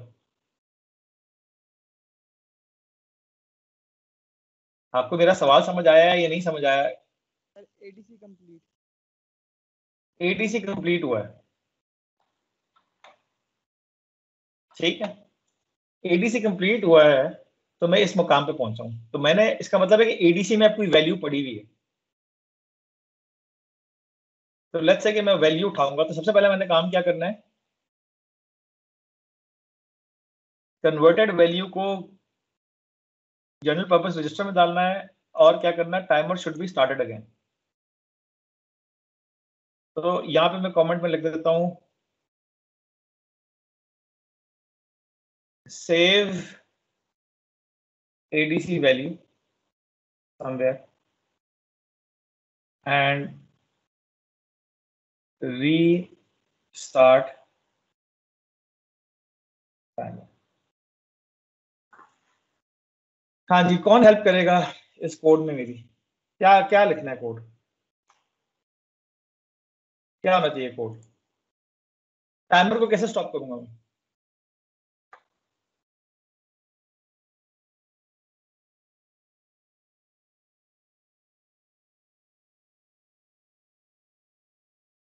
बेटा टाइमर को स्टार्ट एंड स्टॉप कैसे करते हैं?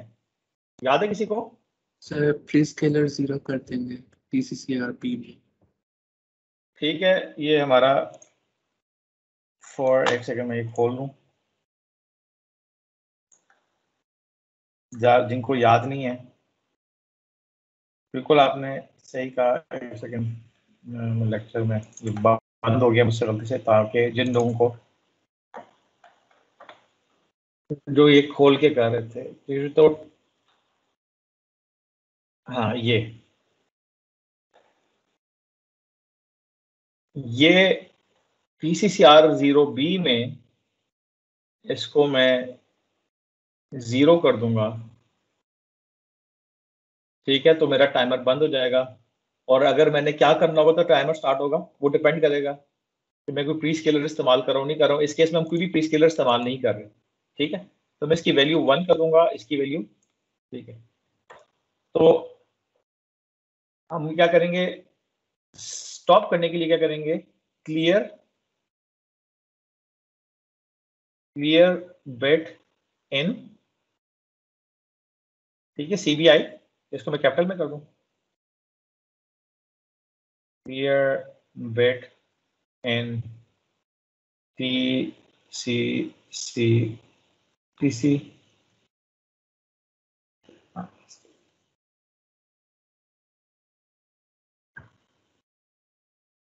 PCC R0B comma zero और रीस्टार्ट करने के लिए मैं क्या करूँगा?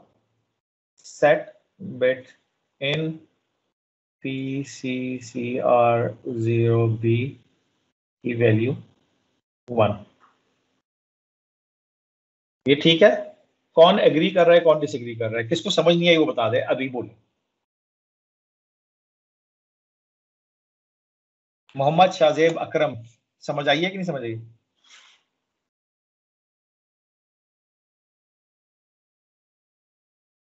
आज भी मोहम्मद शाहजेब अकरम लगता है कि एबसेंट है।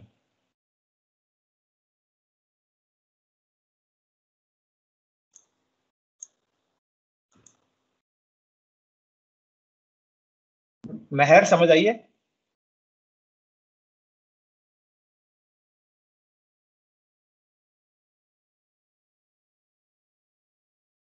मेहर भी गायब है क्या चक्कर है?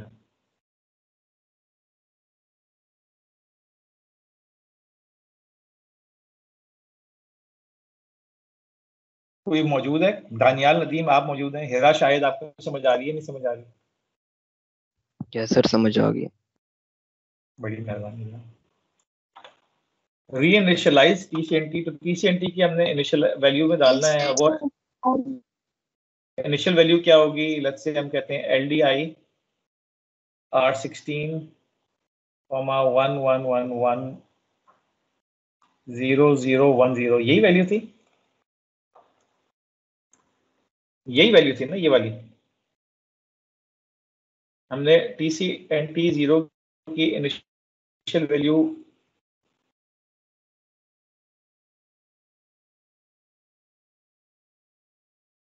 ये वाली वैल्यू मैंने उसके बाद क्या किया और भी तरीके हैं हमारे पास करने के लिए लेकिन लेट्स से कि ये majority went for this thing. So let's say PECs.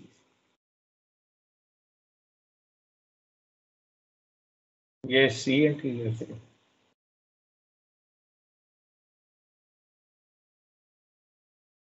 Okay,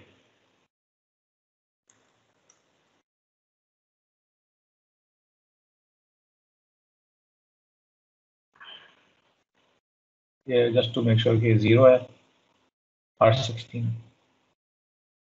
ठीक। और एडीसी की वैल्यू आपने सेव करनी है, किसी ने किसी ने भी ये नहीं किया, लेकिन अगर किसी ने ये काम भी किया होता। इन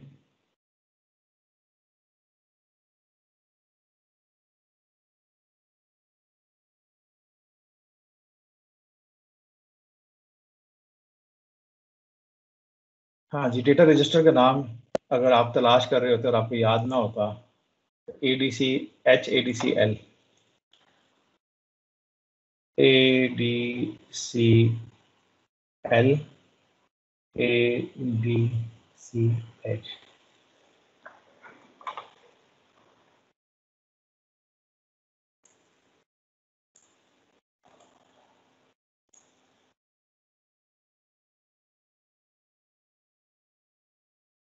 Shahzeb का माइक हमेशा खराब रहता है चलें कोई अब ये बताएँ बाजब आपको पता है पेपर खत्म हो गया। अगर आप गौर करें कि अगर मैं कहूँ पेपर का साइज़ क्या है तो ये जो, ये किया हुआ ये पेपर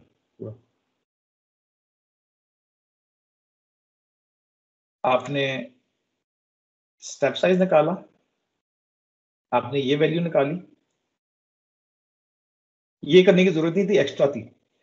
ज़ाहिर सी बात है कि शाहजेब जैसे लाइक स्टूडेंट है, जो कि साथ साथ अपने क्लास फेलोज को समझा भी रहे होते हैं, कर भी रहे होते हैं, उनको टाइम ज़्यादा लगेगा हमें समझ आती है। लेकिन अब मुझे बताएँ कि अब हम ये डिस्कशन कर चुके हैं तो मुझे बताएँ रियलिस्टिकली स्टेप साइज़ निकालने में कितना टाइम लगना चाहिए? हीरा मुझे एक बात बताएँगी? हीरा शायद।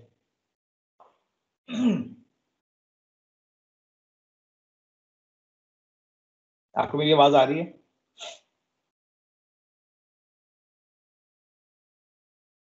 हेरा शाहिद। चले मैं उजाम से बात करता हूँ। हेरा पता नहीं किधर चली गई है। उजाम आपको मेरी आवाज़ आ रही है? जी सर आ रही है। समझ आया क्या हमने किया? जी सर समझ आया लेकिन मैं रिकॉर्डिंग फिर से एक और बार देखूँगा ताकि बिल्कुल समझ आ जाए। लेकिन मैं चले आपसे एक रिव्यू लेते हैं। पहला सवाल था कि स्टेप साइज़ निकालो। कितनी देर लगनी चाहिए स्टेप साइज़ निकालने में? अगर आपके पास डेटा मौजूद हो। सर ज़्यादा देर नहीं लेगी अगर आपको पता है कि आपने करना क्या है तो ज़्यादा देर नहीं लगेगी। फिर भी दो मिनट? एक दो मिनट? जी सर। ये काम करने में कितना टाइम लगना चाहिए? एक दो मिनट। इसमें आप गौर करें कि अगर फ़र्ज़ करें कि आप आसान से स्टार्ट करते हैं आपने नंबर पूरे करने हैं तो ये तो आप एक सेकंड में कर सकते हैं ना एड बक्स की वैल्यू क्या होगी? तीन चार सेकंड अगर वो साथ खुला हो तो पहले वो सर खुलना भी साथ पड़ता है जी तो खोल के रखें। मैंने तो ये कहा है आपको कि देखिए आपको किसने रोका था खोलने से? आपको तो पहले खोल के रखना चाहिए था जब आप एग्ज़ाम देने बैठे थे। सर वो स्विचिंग करने में थोड़ा टाइम लग जाता है देखने में। कितना टाइम लगता है आओ चलने लगता है। मैं गया। पी, सर पीसी थोड़ा मैं गया मैं गया मैंने तलाश किया। ओहो एडीसी अच्छा जी मैंने देखना है कि जी एडमक्स क्या है। और मैं बताऊँ आपको अगर आपने इसको इस्तेमाल किया हो ना इन स्लाइड्स को अक्सर इस्तेमाल किया लो जी एडमक्स मिल गया मुझे एडमक्स ये है और मैंने क्या करना है? सर टीम्स ये- एप्लीकेशन बहुत रैम इंटेंसिव है तो एप्लीकेशन स्विच करने में बहुत टाइम लग जाता है। थोड़ा टाइम लग जाता है तो कभी हैंग करता। प्रिंट आउट निकाल के रख लें किताब सामने रख लें भाई। ये तो आप देखें ये वो हैं सारे। फिर जबानी याद कर लें यार गो ओल्ड स्कूल मेरे भाई जिस जमाने में हम पढ़ते थे मैंने इंजीनियरिंग की थी। एवीआर नहीं था लेकिन दूसरे माइक्रो कंट्रोलर्स थे 8085 हम करते थे। ठीक है? और दी एक्सपेक्टेशन वाज कि हम जबानी ये सारी चीज़ें हम जबानी याद करते थे। तो आप वो कर लें अगर आपके इतना बुरे हालात हैं। सर लेकिन सर हमारे पास मौजूद है तो याद करने की ज़रूरत फिर कोई नहीं है ना। भाई आप ही बता रहे हैं ना कि जी मसला है कि बहुत स्लो है।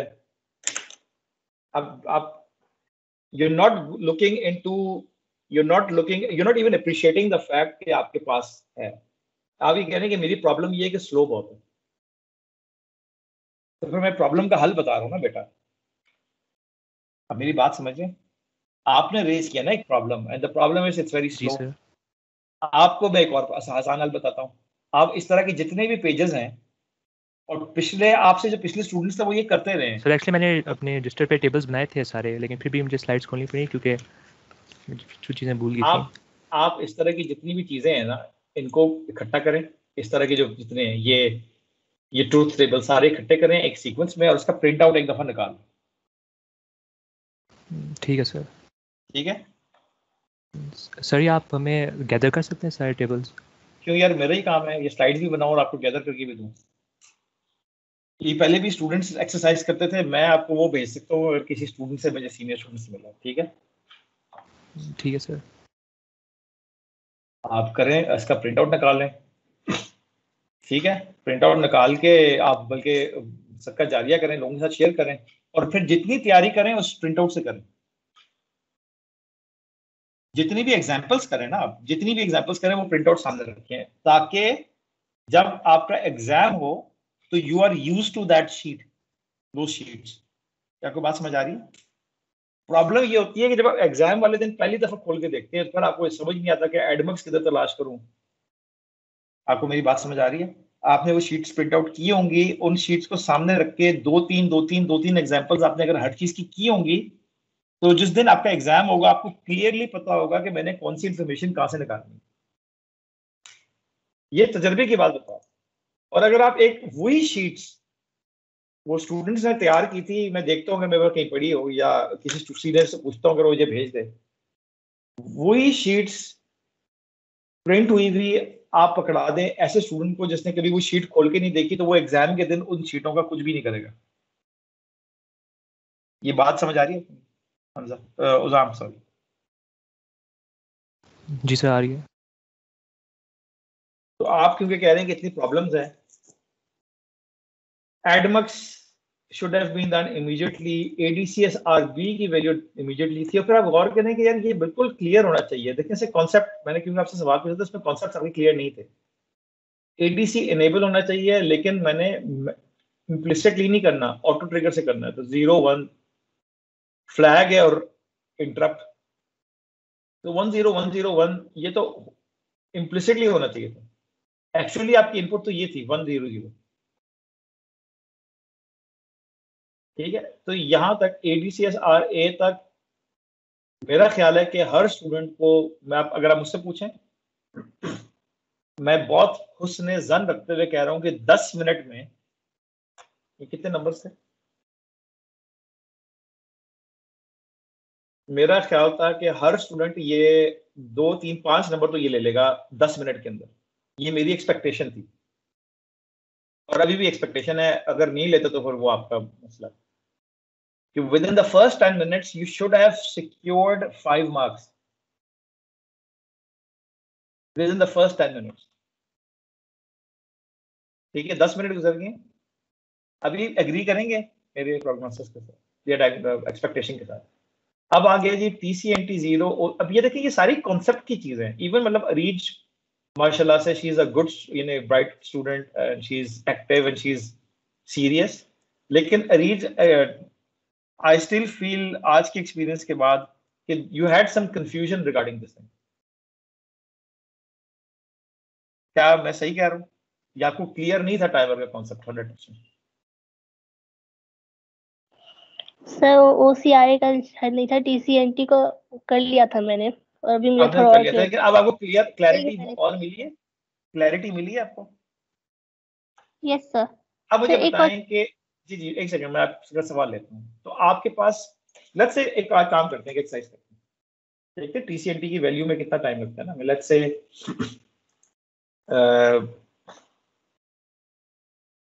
हेरा पे चले जाते हैं। हेरा का है four mega hertz and the delay is twenty five micro ठीक है? कंपेयर मैच के साथ करना है। क्या करना है? फोर मेगा हर्ट्स है कंपेयर मैच के साथ करना है 25 माइक्रोसेकंड्स ठीक है? तो let's say we go here तो एक सेकंड में इस पे आता हूँ। रीच अपना सवाल संभाल के रखिएगा, ठीक है? तो this is four mega hertz clock relay जो है, मैं जो चाहता हूँ, वो है ट्वेंटी 25 माइक्रोसेकंड्स और ये मैं करना चाहता हूँ टाइमर कंपेयर मैच के साथ। अच्छा जी। Compare match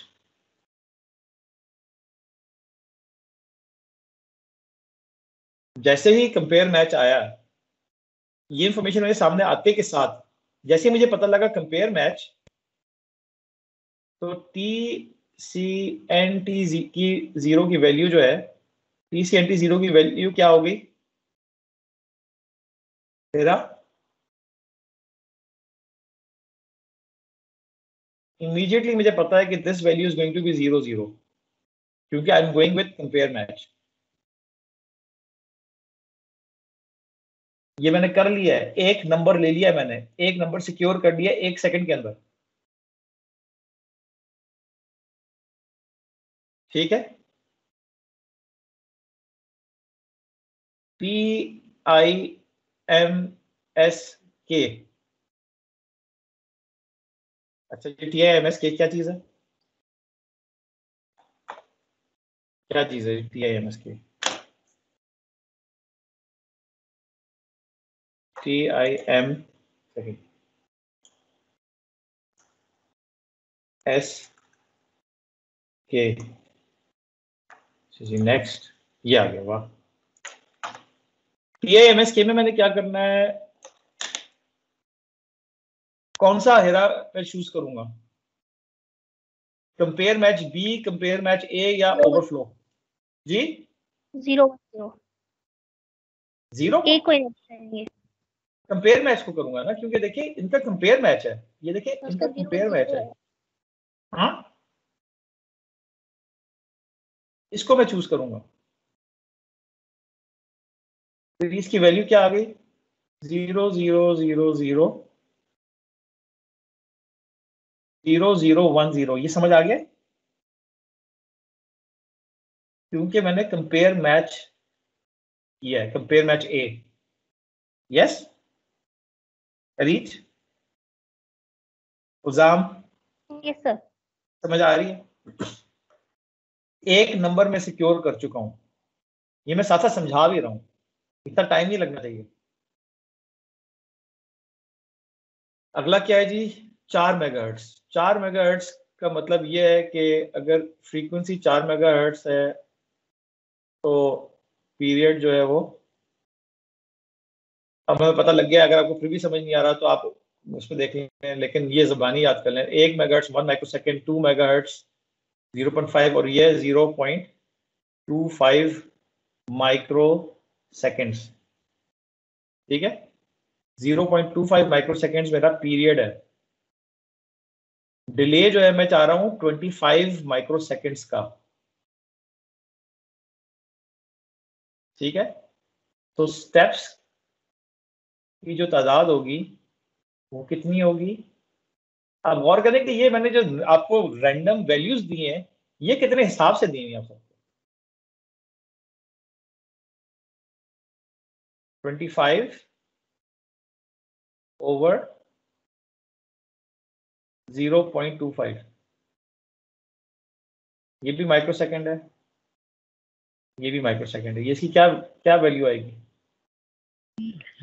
Hundred steps hundred steps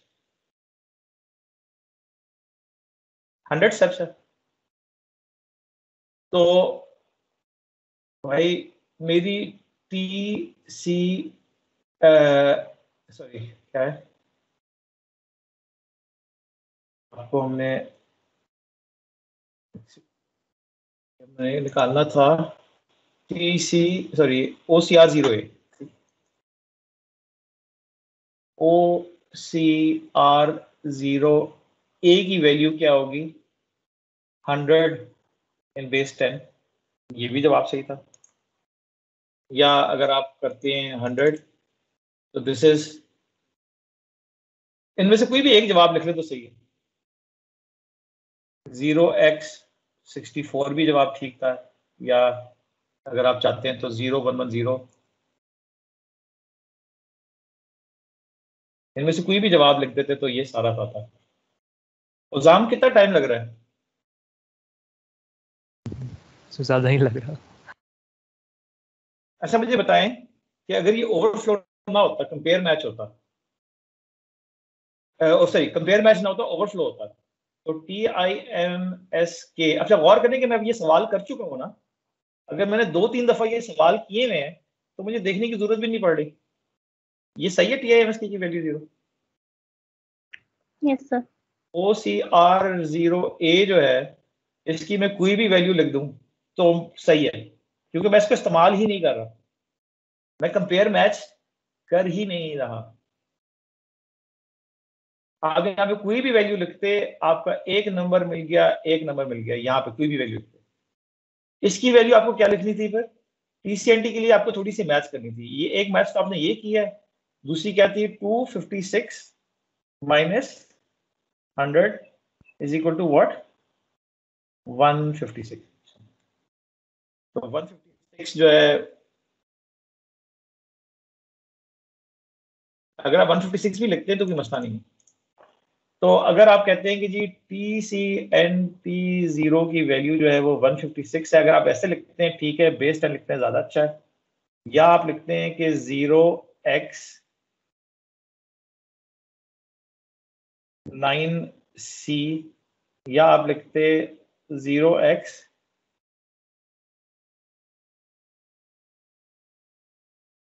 इनमें से कोई भी वैल्यू लिखते अगर ये ओवरफ्लो वाला होता। कितनी देर कितनी देर लगी? अब आप गौर करें कि the more you do it जो मैं आपको बार बार कहता हूँ भाई, जितनी आप एग्जांपल्स करेंगे सही समझ के, और इसलिए मैंने कहा था कि आज का सेशन बहुत ज़रूरी है आप लोगों के लिए। फॉर योर फाइनल्स बात समझ आ रही है? साजिद एहसान मौजूद है कि नहीं मौजूद? दानियाल नदीम, मोहम्मद दानियाल नदीम मौजूद है नहीं मौजूद? तो ये हो गया, इसमें ये छह नंबर। तो अगर आप गौर करें, इसमें हमें कितना टाइम लगा? अच्छा मुझे बताएँ कि हम जो है, हमने एग्री किया था कि 10 मिनट के अंदर हमने क्वेश्चन वन पूरा और क्वेश्चन टू के तीन पार्ट कर लिए थे। मैं कहता हूँ कि लेट्स से कि पाँच से दस मिनट दस मिनट और लगा लें तो मुझे बताएँ कि बीस मिनट के अंदर ट्वेंटी मिनट्स के अंदर हमने कितने मार्क्स सिक्योर कर लिए? आठ मार्क्स आप पास हो गए। ट्वेंटी मिनट्स में आठ नंबर आके हो गए। अब मुझे बताएँ मैंने आपको कहा आईवीटी बनाओ। यार ये मैं इसको फोकस कर रहा हूँ जूम ये जो ये जो कोड लिखा हुआ है ना आपके सामने this is the entirety of the IVT इसको गौर से देखें। जो जो भाई मेरे सवालों पे जवाब मैं मुखातिब कर रहा हूँ मैं नोट करता जा रहा हूँ साथ साथ के जिनको मैं मुखातिब कर रहा हूँ वो जवाब नहीं दे रहे। जिनमें दानियाल नदीम भी शामिल हैं हिरा शायद आप भी जवाब नहीं दे रही। ठीक है मुतीब आपसे मैंने कहा अब समझ आ रही है तो बेटा जब मैं ये कह रहा हूँ कि मैं आपका नाम लिख रहा हूँ, तभी आप बोल रहे हैं। जब मैं आपको वैसे मुखातिब कर रहा हूँ then you choose to stay quiet ठीक है बेटा? ये याद रखें आप। तो बहरहाल। वो एटलीस्ट शाहजेब जो है वो टेक्स्ट कर देते हैं कि जी मेरा माइक काम नहीं कर रहा, उनका आपको पता है कि सिर्फ़ छः सात लाख रुपए के माइक आते हैं। सारे स्टूडेंट्स ने माइक खरीदे हुए हैं। एक कुछ यार आप लोग डोनेशन ही करते हैं यार। तो ऐसे क्लासें खत्म होने वाली हैं, लेकिन अगला पूरा सेमेस्टर बाकी है। शाहजेब को डोनेट कर दें, शाहजेब की हालात ख़राब हैं आजकल। एक माइक खरीद लें, पैसे डोनेट करके पूल करके। ठीक है? ताकि उनका माइक काम करे। बाकी लेकिन बहरहाल वो कम अज कम उनमें इतनी डिसेंसी है कि वो टेक्स्ट करके बता देते हैं कि जी, मैंने आपकी बात सुन ली है, इसका मतलब है ही इज़ लिस्टिंग बाकी स्टूडेंट्स जो हैं वो कहते हैं कि जी हमने बोलना भी नहीं है। मुझे बताएँ चलें दानियाल नदीम कितनी देर का काम है? ये लिखना। आईवीटी सर ये ज़्यादा देर का काम नहीं है। सर लेकिन जब क्वेश्चन सर जब क्वेश्चन पे आता है तो सर उसको समझना भी तो होता है पहले। इसमें टाइम ज़्यादा लगता है मैंने तो आपके साथ डिस्कशन की है उसमें क्या सोचने वाली चीज़ है? नहीं सर अब तो, तो ठीक है लेकिन मेरा बेटा आपको सोचना इसलिए पड़ता है क्योंकि आप प्रैक्टिस नहीं कर रहे हैं। आपको सोचना इसलिए पड़ रहा है क्योंकि आप पहली दफ़ा सवाल एग्ज़ाम में कर रहे हैं। आप मुझे, मैं आपको गारंटी के साथ कह सकता हूँ, मोहम्मद दानियाल नदीम साहब, मैं आपको गारंटी के साथ और एश्योरिटी के साथ कह सकता हूँ कि आपने एक, दो या तीन प्रोग्राम से ज़्यादा किए ही नहीं है, बनाए। अगर आपने प्रैक्टिस की होती इंटरप्ट की, आपने इंटरप्ट के चार, पाँच सवाल किए होते, कोई एग्जाम्पल्स किताब की और मैं आपको बारहा कहता रहा हूँ कि आप किताब की एग्जाम्पल्स करें। और मैं आपको गारंटी के साथ कहता हूँ कि आपने चार या पाँच एग्जाम्पल्स की होती हैं किताब की तो इसको करने में आपको कोई टाइम नहीं सिर्फ़ चार एग्जाम्पल्स आपने की होती हैं।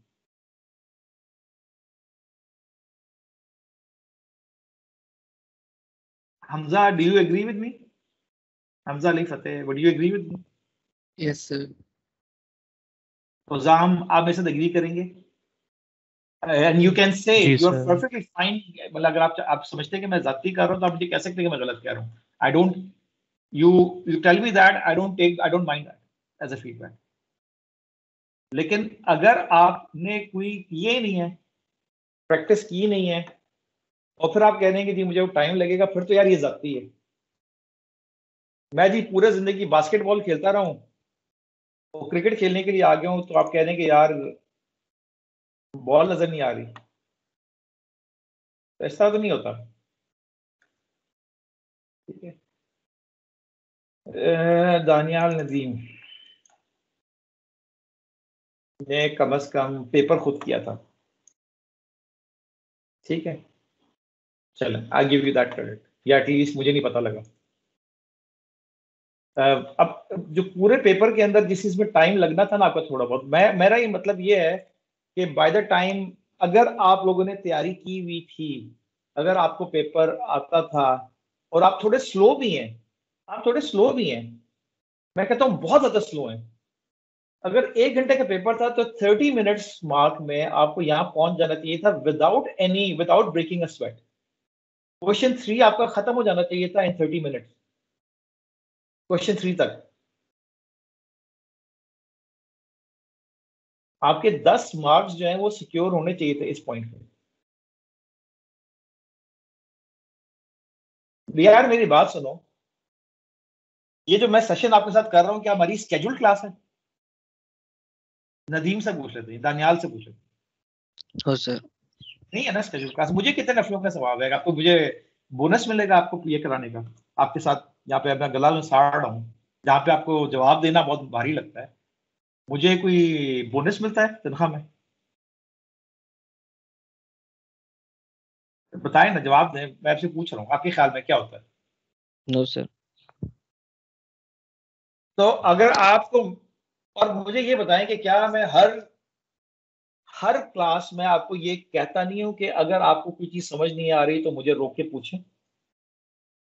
यस सर क्या मैं हर नई क्लास शुरू होने का आपसे ये भी पूछता कि पिछली क्लास में अगर कोई चीज़ समझ नहीं आई तो मुझसे पूछें? यस सर कहते हैं।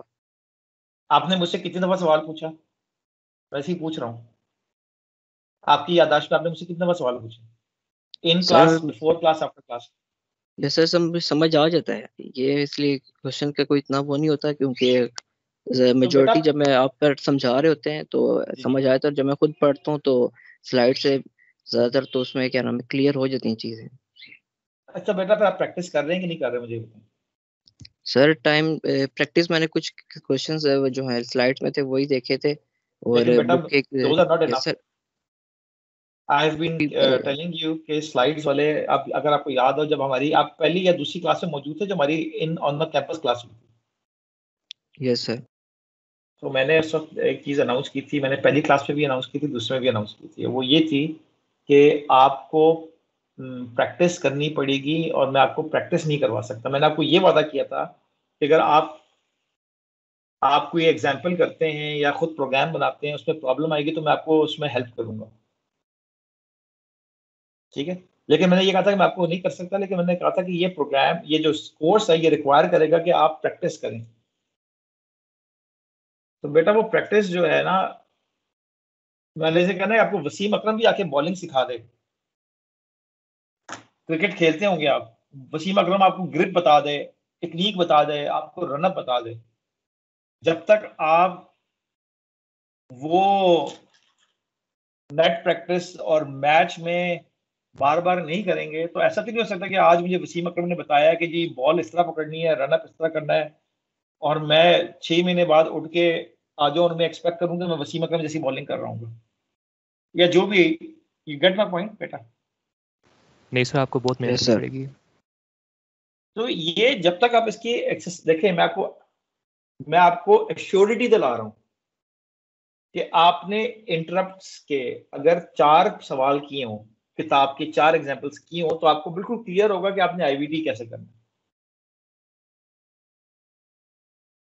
और मैं आपको ये बताऊँ कि मैंने आपसे प्रोग्राम अब गौर करें कि मैंने प्रोग्राम कितना लिखवाया है आपसे। यार, आप दूसरे एक सेक्शन का देखें, उन लोगों के कई कई पेज की प्रोग्राम आया है लिखने को। तो पिछले सालों में देखें तो लोग जो हैं वो कई कई पेज पे चार चार, पाँच पाँच पेज के ऊपर प्रोग्राम लिख रहे होते थे। मैं तो यार आपको प्रोग्राम लिखने को ही नहीं कहा, मैंने ना आपको कहा, ये देखो, ये इतना सा था। दिस वॉज़ द कोड अगर आप थर्टी मिनट्स में यहाँ पहुँच गए हैं तो मेरी एक्सपेक्टेशन थी कि तीस मिनट में तो ये आप बहुत अच्छा कर लेते अभी भी बहरहाल टाइम है। फाइनल में आप नंबर ले सकते हैं। मैं आपको ये कहूँगा कि प्रैक्टिस करें। मेरे, मुझे again I don't have any incentive other than कि आप लोगों को ये काम आ जाए। इसलिए मेरी कोशिश है कि जी, मैं इस वीक के एंड तक कोर्स मुकम्मल करके आखिर में सिर्फ़ आपके साथ एग्जाम्पल्स करूँ।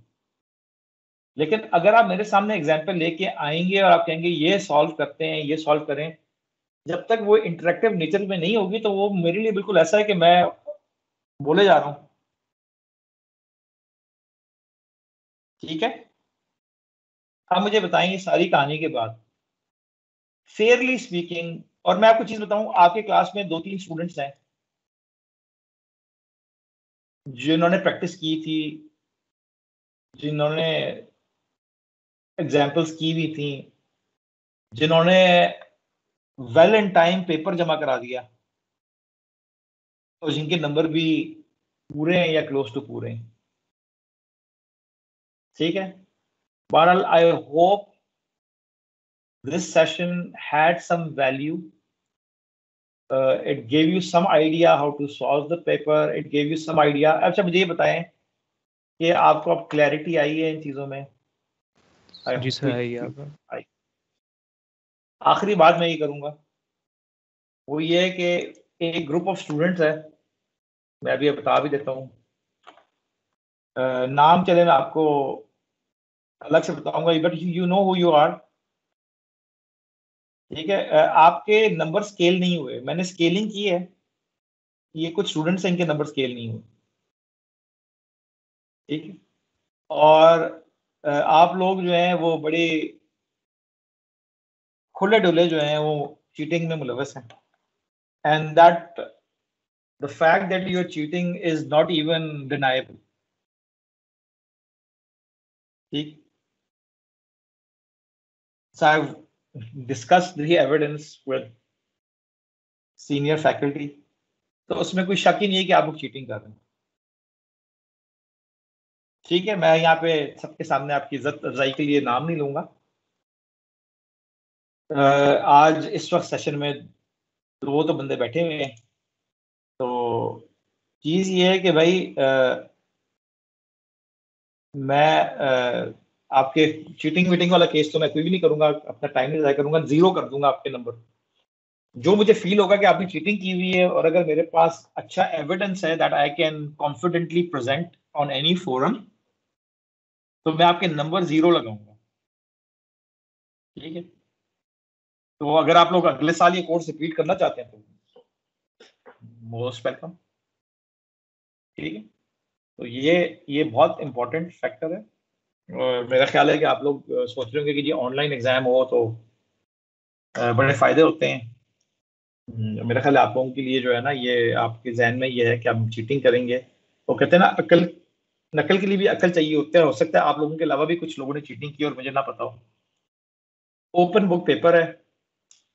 उसके बावजूद भी अगर आप समझते हैं कि ये पाँच छह स्टूडेंट्स ने मिलके पेपर करना है तो फिर मिलके करना है ये एक दूसरे के साथ शेयर करते हैं जिस तरह से भी हैं। एक कमरे में बैठ के पेपर करते हैं आई डोंट केयर रियली ठीक है? आप लोग आप लोगों में ऐसे किसी के भी तीन नंबर से, दो नंबर से एक और ज़्यादा नंबर नहीं आए।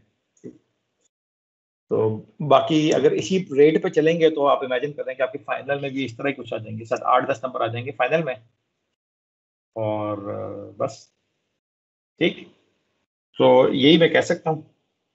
अब मैंने जितना बोलना था, बोल लिया है। आप में से किसी को कोई सवाल है, कोई कंसर्न है कोई इशू है? मेरा वो एडमक्स से रिलेटेड है। जी बताइए मुतीब सर वो जो एडमक्स की पहली दो बिट्स थी अगर उसकी जगह हमारे पास वो फाइव वीरेफ हो तो हम उसकी जगह वो लिख सकते हैं कि तो वहाँ पे हम वो जो ज़ीरो वन वाली वैल्यू वो पुट कर सकते हैं ज़ीरो ज़ीरो की जगह। आप ज़ीरो वन करके एवीसीसी लगा के नहीं तो यही है ना फाइव वोल्ट के लिए तो आप यही करेंगे। यस तो सर मेरा क्वेश्चन ये कि हम ज़ीरो ज़ीरो भी यूज़ कर सकते हैं इस केस में सिर्फ़ ज़ीरो आप अगर आपने ज़ीरो ज़ीरो किया हुआ है और आपने साथ में कमेंट किया कि जी मैं एआरएफ पे फाइव वोल्ट लगा रहा हूँ तो फाइन ठीक है? आ, इस तरह से आप ये भी कर सकते हैं कि जी ज़ीरो ज़ीरो कर दें। फ़र्स्ट करें आपका वन पॉइंट वन वोल्ट है। ठीक है? और आप एरफ कहते हैं मैं एरफ कर रहा हूँ और आप कहते हैं कि मैं एरफ के ऊपर 1.1 वोल्ट लगा रहा हूँ। तो भी ठीक है। लेकिन अगर आप ये बात नहीं कर रहे तो फिर आप ये इस्तेमाल करें फॉर 1.1 ये करें फॉर 5 वोल्ट और ये करें फॉर एक्सटर्नल ठीक है? तो इंटरनल वीरफ को टर्न ऑफ़ करना है और एरफ जो है एक्सटर्नल वो आपने इस्तेमाल करना तो ये है। ठीक है? एनी अदर क्वेश्चंस मुतीब आप बताएँ कि did you learn anything today was this session of any value you think yes sir काफ़ी मदद हुई अब मैं आपको सबको मशवरा दूँगा मोहम्मद दानियाल नदीम साजाद yes, खान हेरा शाहिद रीच तो तो नहीं सबको मैं अब्दुल अज़ीज़ उल गनी साहब। कि आप एक दफ़ा ये करके देखें कि किसी और का यानी कि ये जो ये शीट अगर आपको नज़र आ रही हो किसी और की लें किसी की भी रैंडमली ले लें, जो आपकी ना हो, और एक दफ़ा एस टू को सॉल्व करने की कोशिश करें और देखें कि आपका कितना टाइम लगेगा। इससे आपको फ़ायदा होगा और फाइनल में भी फ़ायदा होगा। फॉर श्योर ठीक है? मेरा ख्याल है आज की क्लास हम यहाँ पे कंक्लूड करते हैं। If nobody has any further questions, no further questions? ठीक है जी, मैं रिकॉर्डिंग ऑफ़ कर रहा कीजिए रीच मेरा क्वेश्चन रहता है हाँ जी हाँ सॉरी आपका क्वेश्चन रह गया मैं भूल गया था। बताइए प्लीज़ सर जब हम लोग एग्ज़ाम्पल कर रहे थे जब हम टाइमर ज़ीरो की जो आप करा रहे थे तो हमने उसे वहाँ पे टाइम को ना टू से डिवाइड किया था। सॉरी uh, इस जगह पे कहीं पे? जी एग्ज़ाम्पल में टू से डिवाइड किया था। तो मुझे लगा कि शायद एग्ज़ाम्पल की तरह मैंने भी टू से डिवाइड कर दिया। हाँ नहीं मैंने देखा था सॉरी मुझे समझ नहीं आपने टू से डिवाइड क्यों किया था। मैंने नहीं नहीं आपको पता है कि वो कौन सी एग्जांपल थी जो मिस्टर जहाँ पे मैंने टू से डिवाइड किया था? मैं आपको बताता हूँ आपने आपने थोड़ा सा वो हो रही है। वो टाइमर वन की एग्जांपल थी ना? सर मैं टाइमर मैंने तो पढ़ा ही नहीं था उस वक्त। उस वक्त नहीं पढ़ा था? उसका कोई ना कोई अच्छा उसका कोई ना कोई कॉन्टेक्स्ट होगा। मतलब अगर आप रिकॉर्डिंग दोबारा देख लें मैंने बिला वजह टू से नहीं डिवाइड किया था। मुझे वो एग्जांपल याद नहीं आ रही अगर मुझे वो एग्जांपल कोट कर दे। मैंने ये नोट किया था कि आपने टू से डिवाइड किया था I didn't understand why you did that ठीक है? वो डिपेंड करता है। डिवाइड तो अगर सपोज़ करो एक ही एच पे हम कर रहे हैं तो उसको डिवाइड किया था कि वो जब ऊपर वाले हिस्से को ही आए तो मैंने उस पर लिख दिया था कि to generate a square wave कि मुझे लगा कि उसकी वजह से स्क्वायर वेव एग्जैक्टली लेकिन हमने स्क्वायर वेव तो जनरेट ही नहीं करनी। ठीक है? मैं मैंने मुझे याद आ गया आपने क्या लिखा हुआ था। आई रिमेंबर नाउ ठीक है? हमने स्क्वायर वेव देखिए मैं एक चीज़ बताऊँ अगर आपने स्क्वायर वेव जनरेट करनी है यूजिंग अ टाइमर तो जो स्क्वायर वेव की नेचर है, उस पर डिपेंड करेगा कि हम क्या कर रहे हैं इसके साथ। ठीक है? But that is the that is how we are what we are doing with the output ठीक है? इस केस में क्या हो रहा है कि मेरा जो क्लॉक है, ये और करें, मेरी क्लॉक है, ये जो, ये मैंने, ये ड्रॉ किया है, मैं दोबारा ड्रॉ करता हूँ। मेरी क्लॉक तो चल रही है ना? तो मैं स्क्वायर वेव में तो इंटरेस्टेड नहीं हूँ इस केस में। जो हमने आज एग्जांपल की है उसमें मैं था interested in seven micro seconds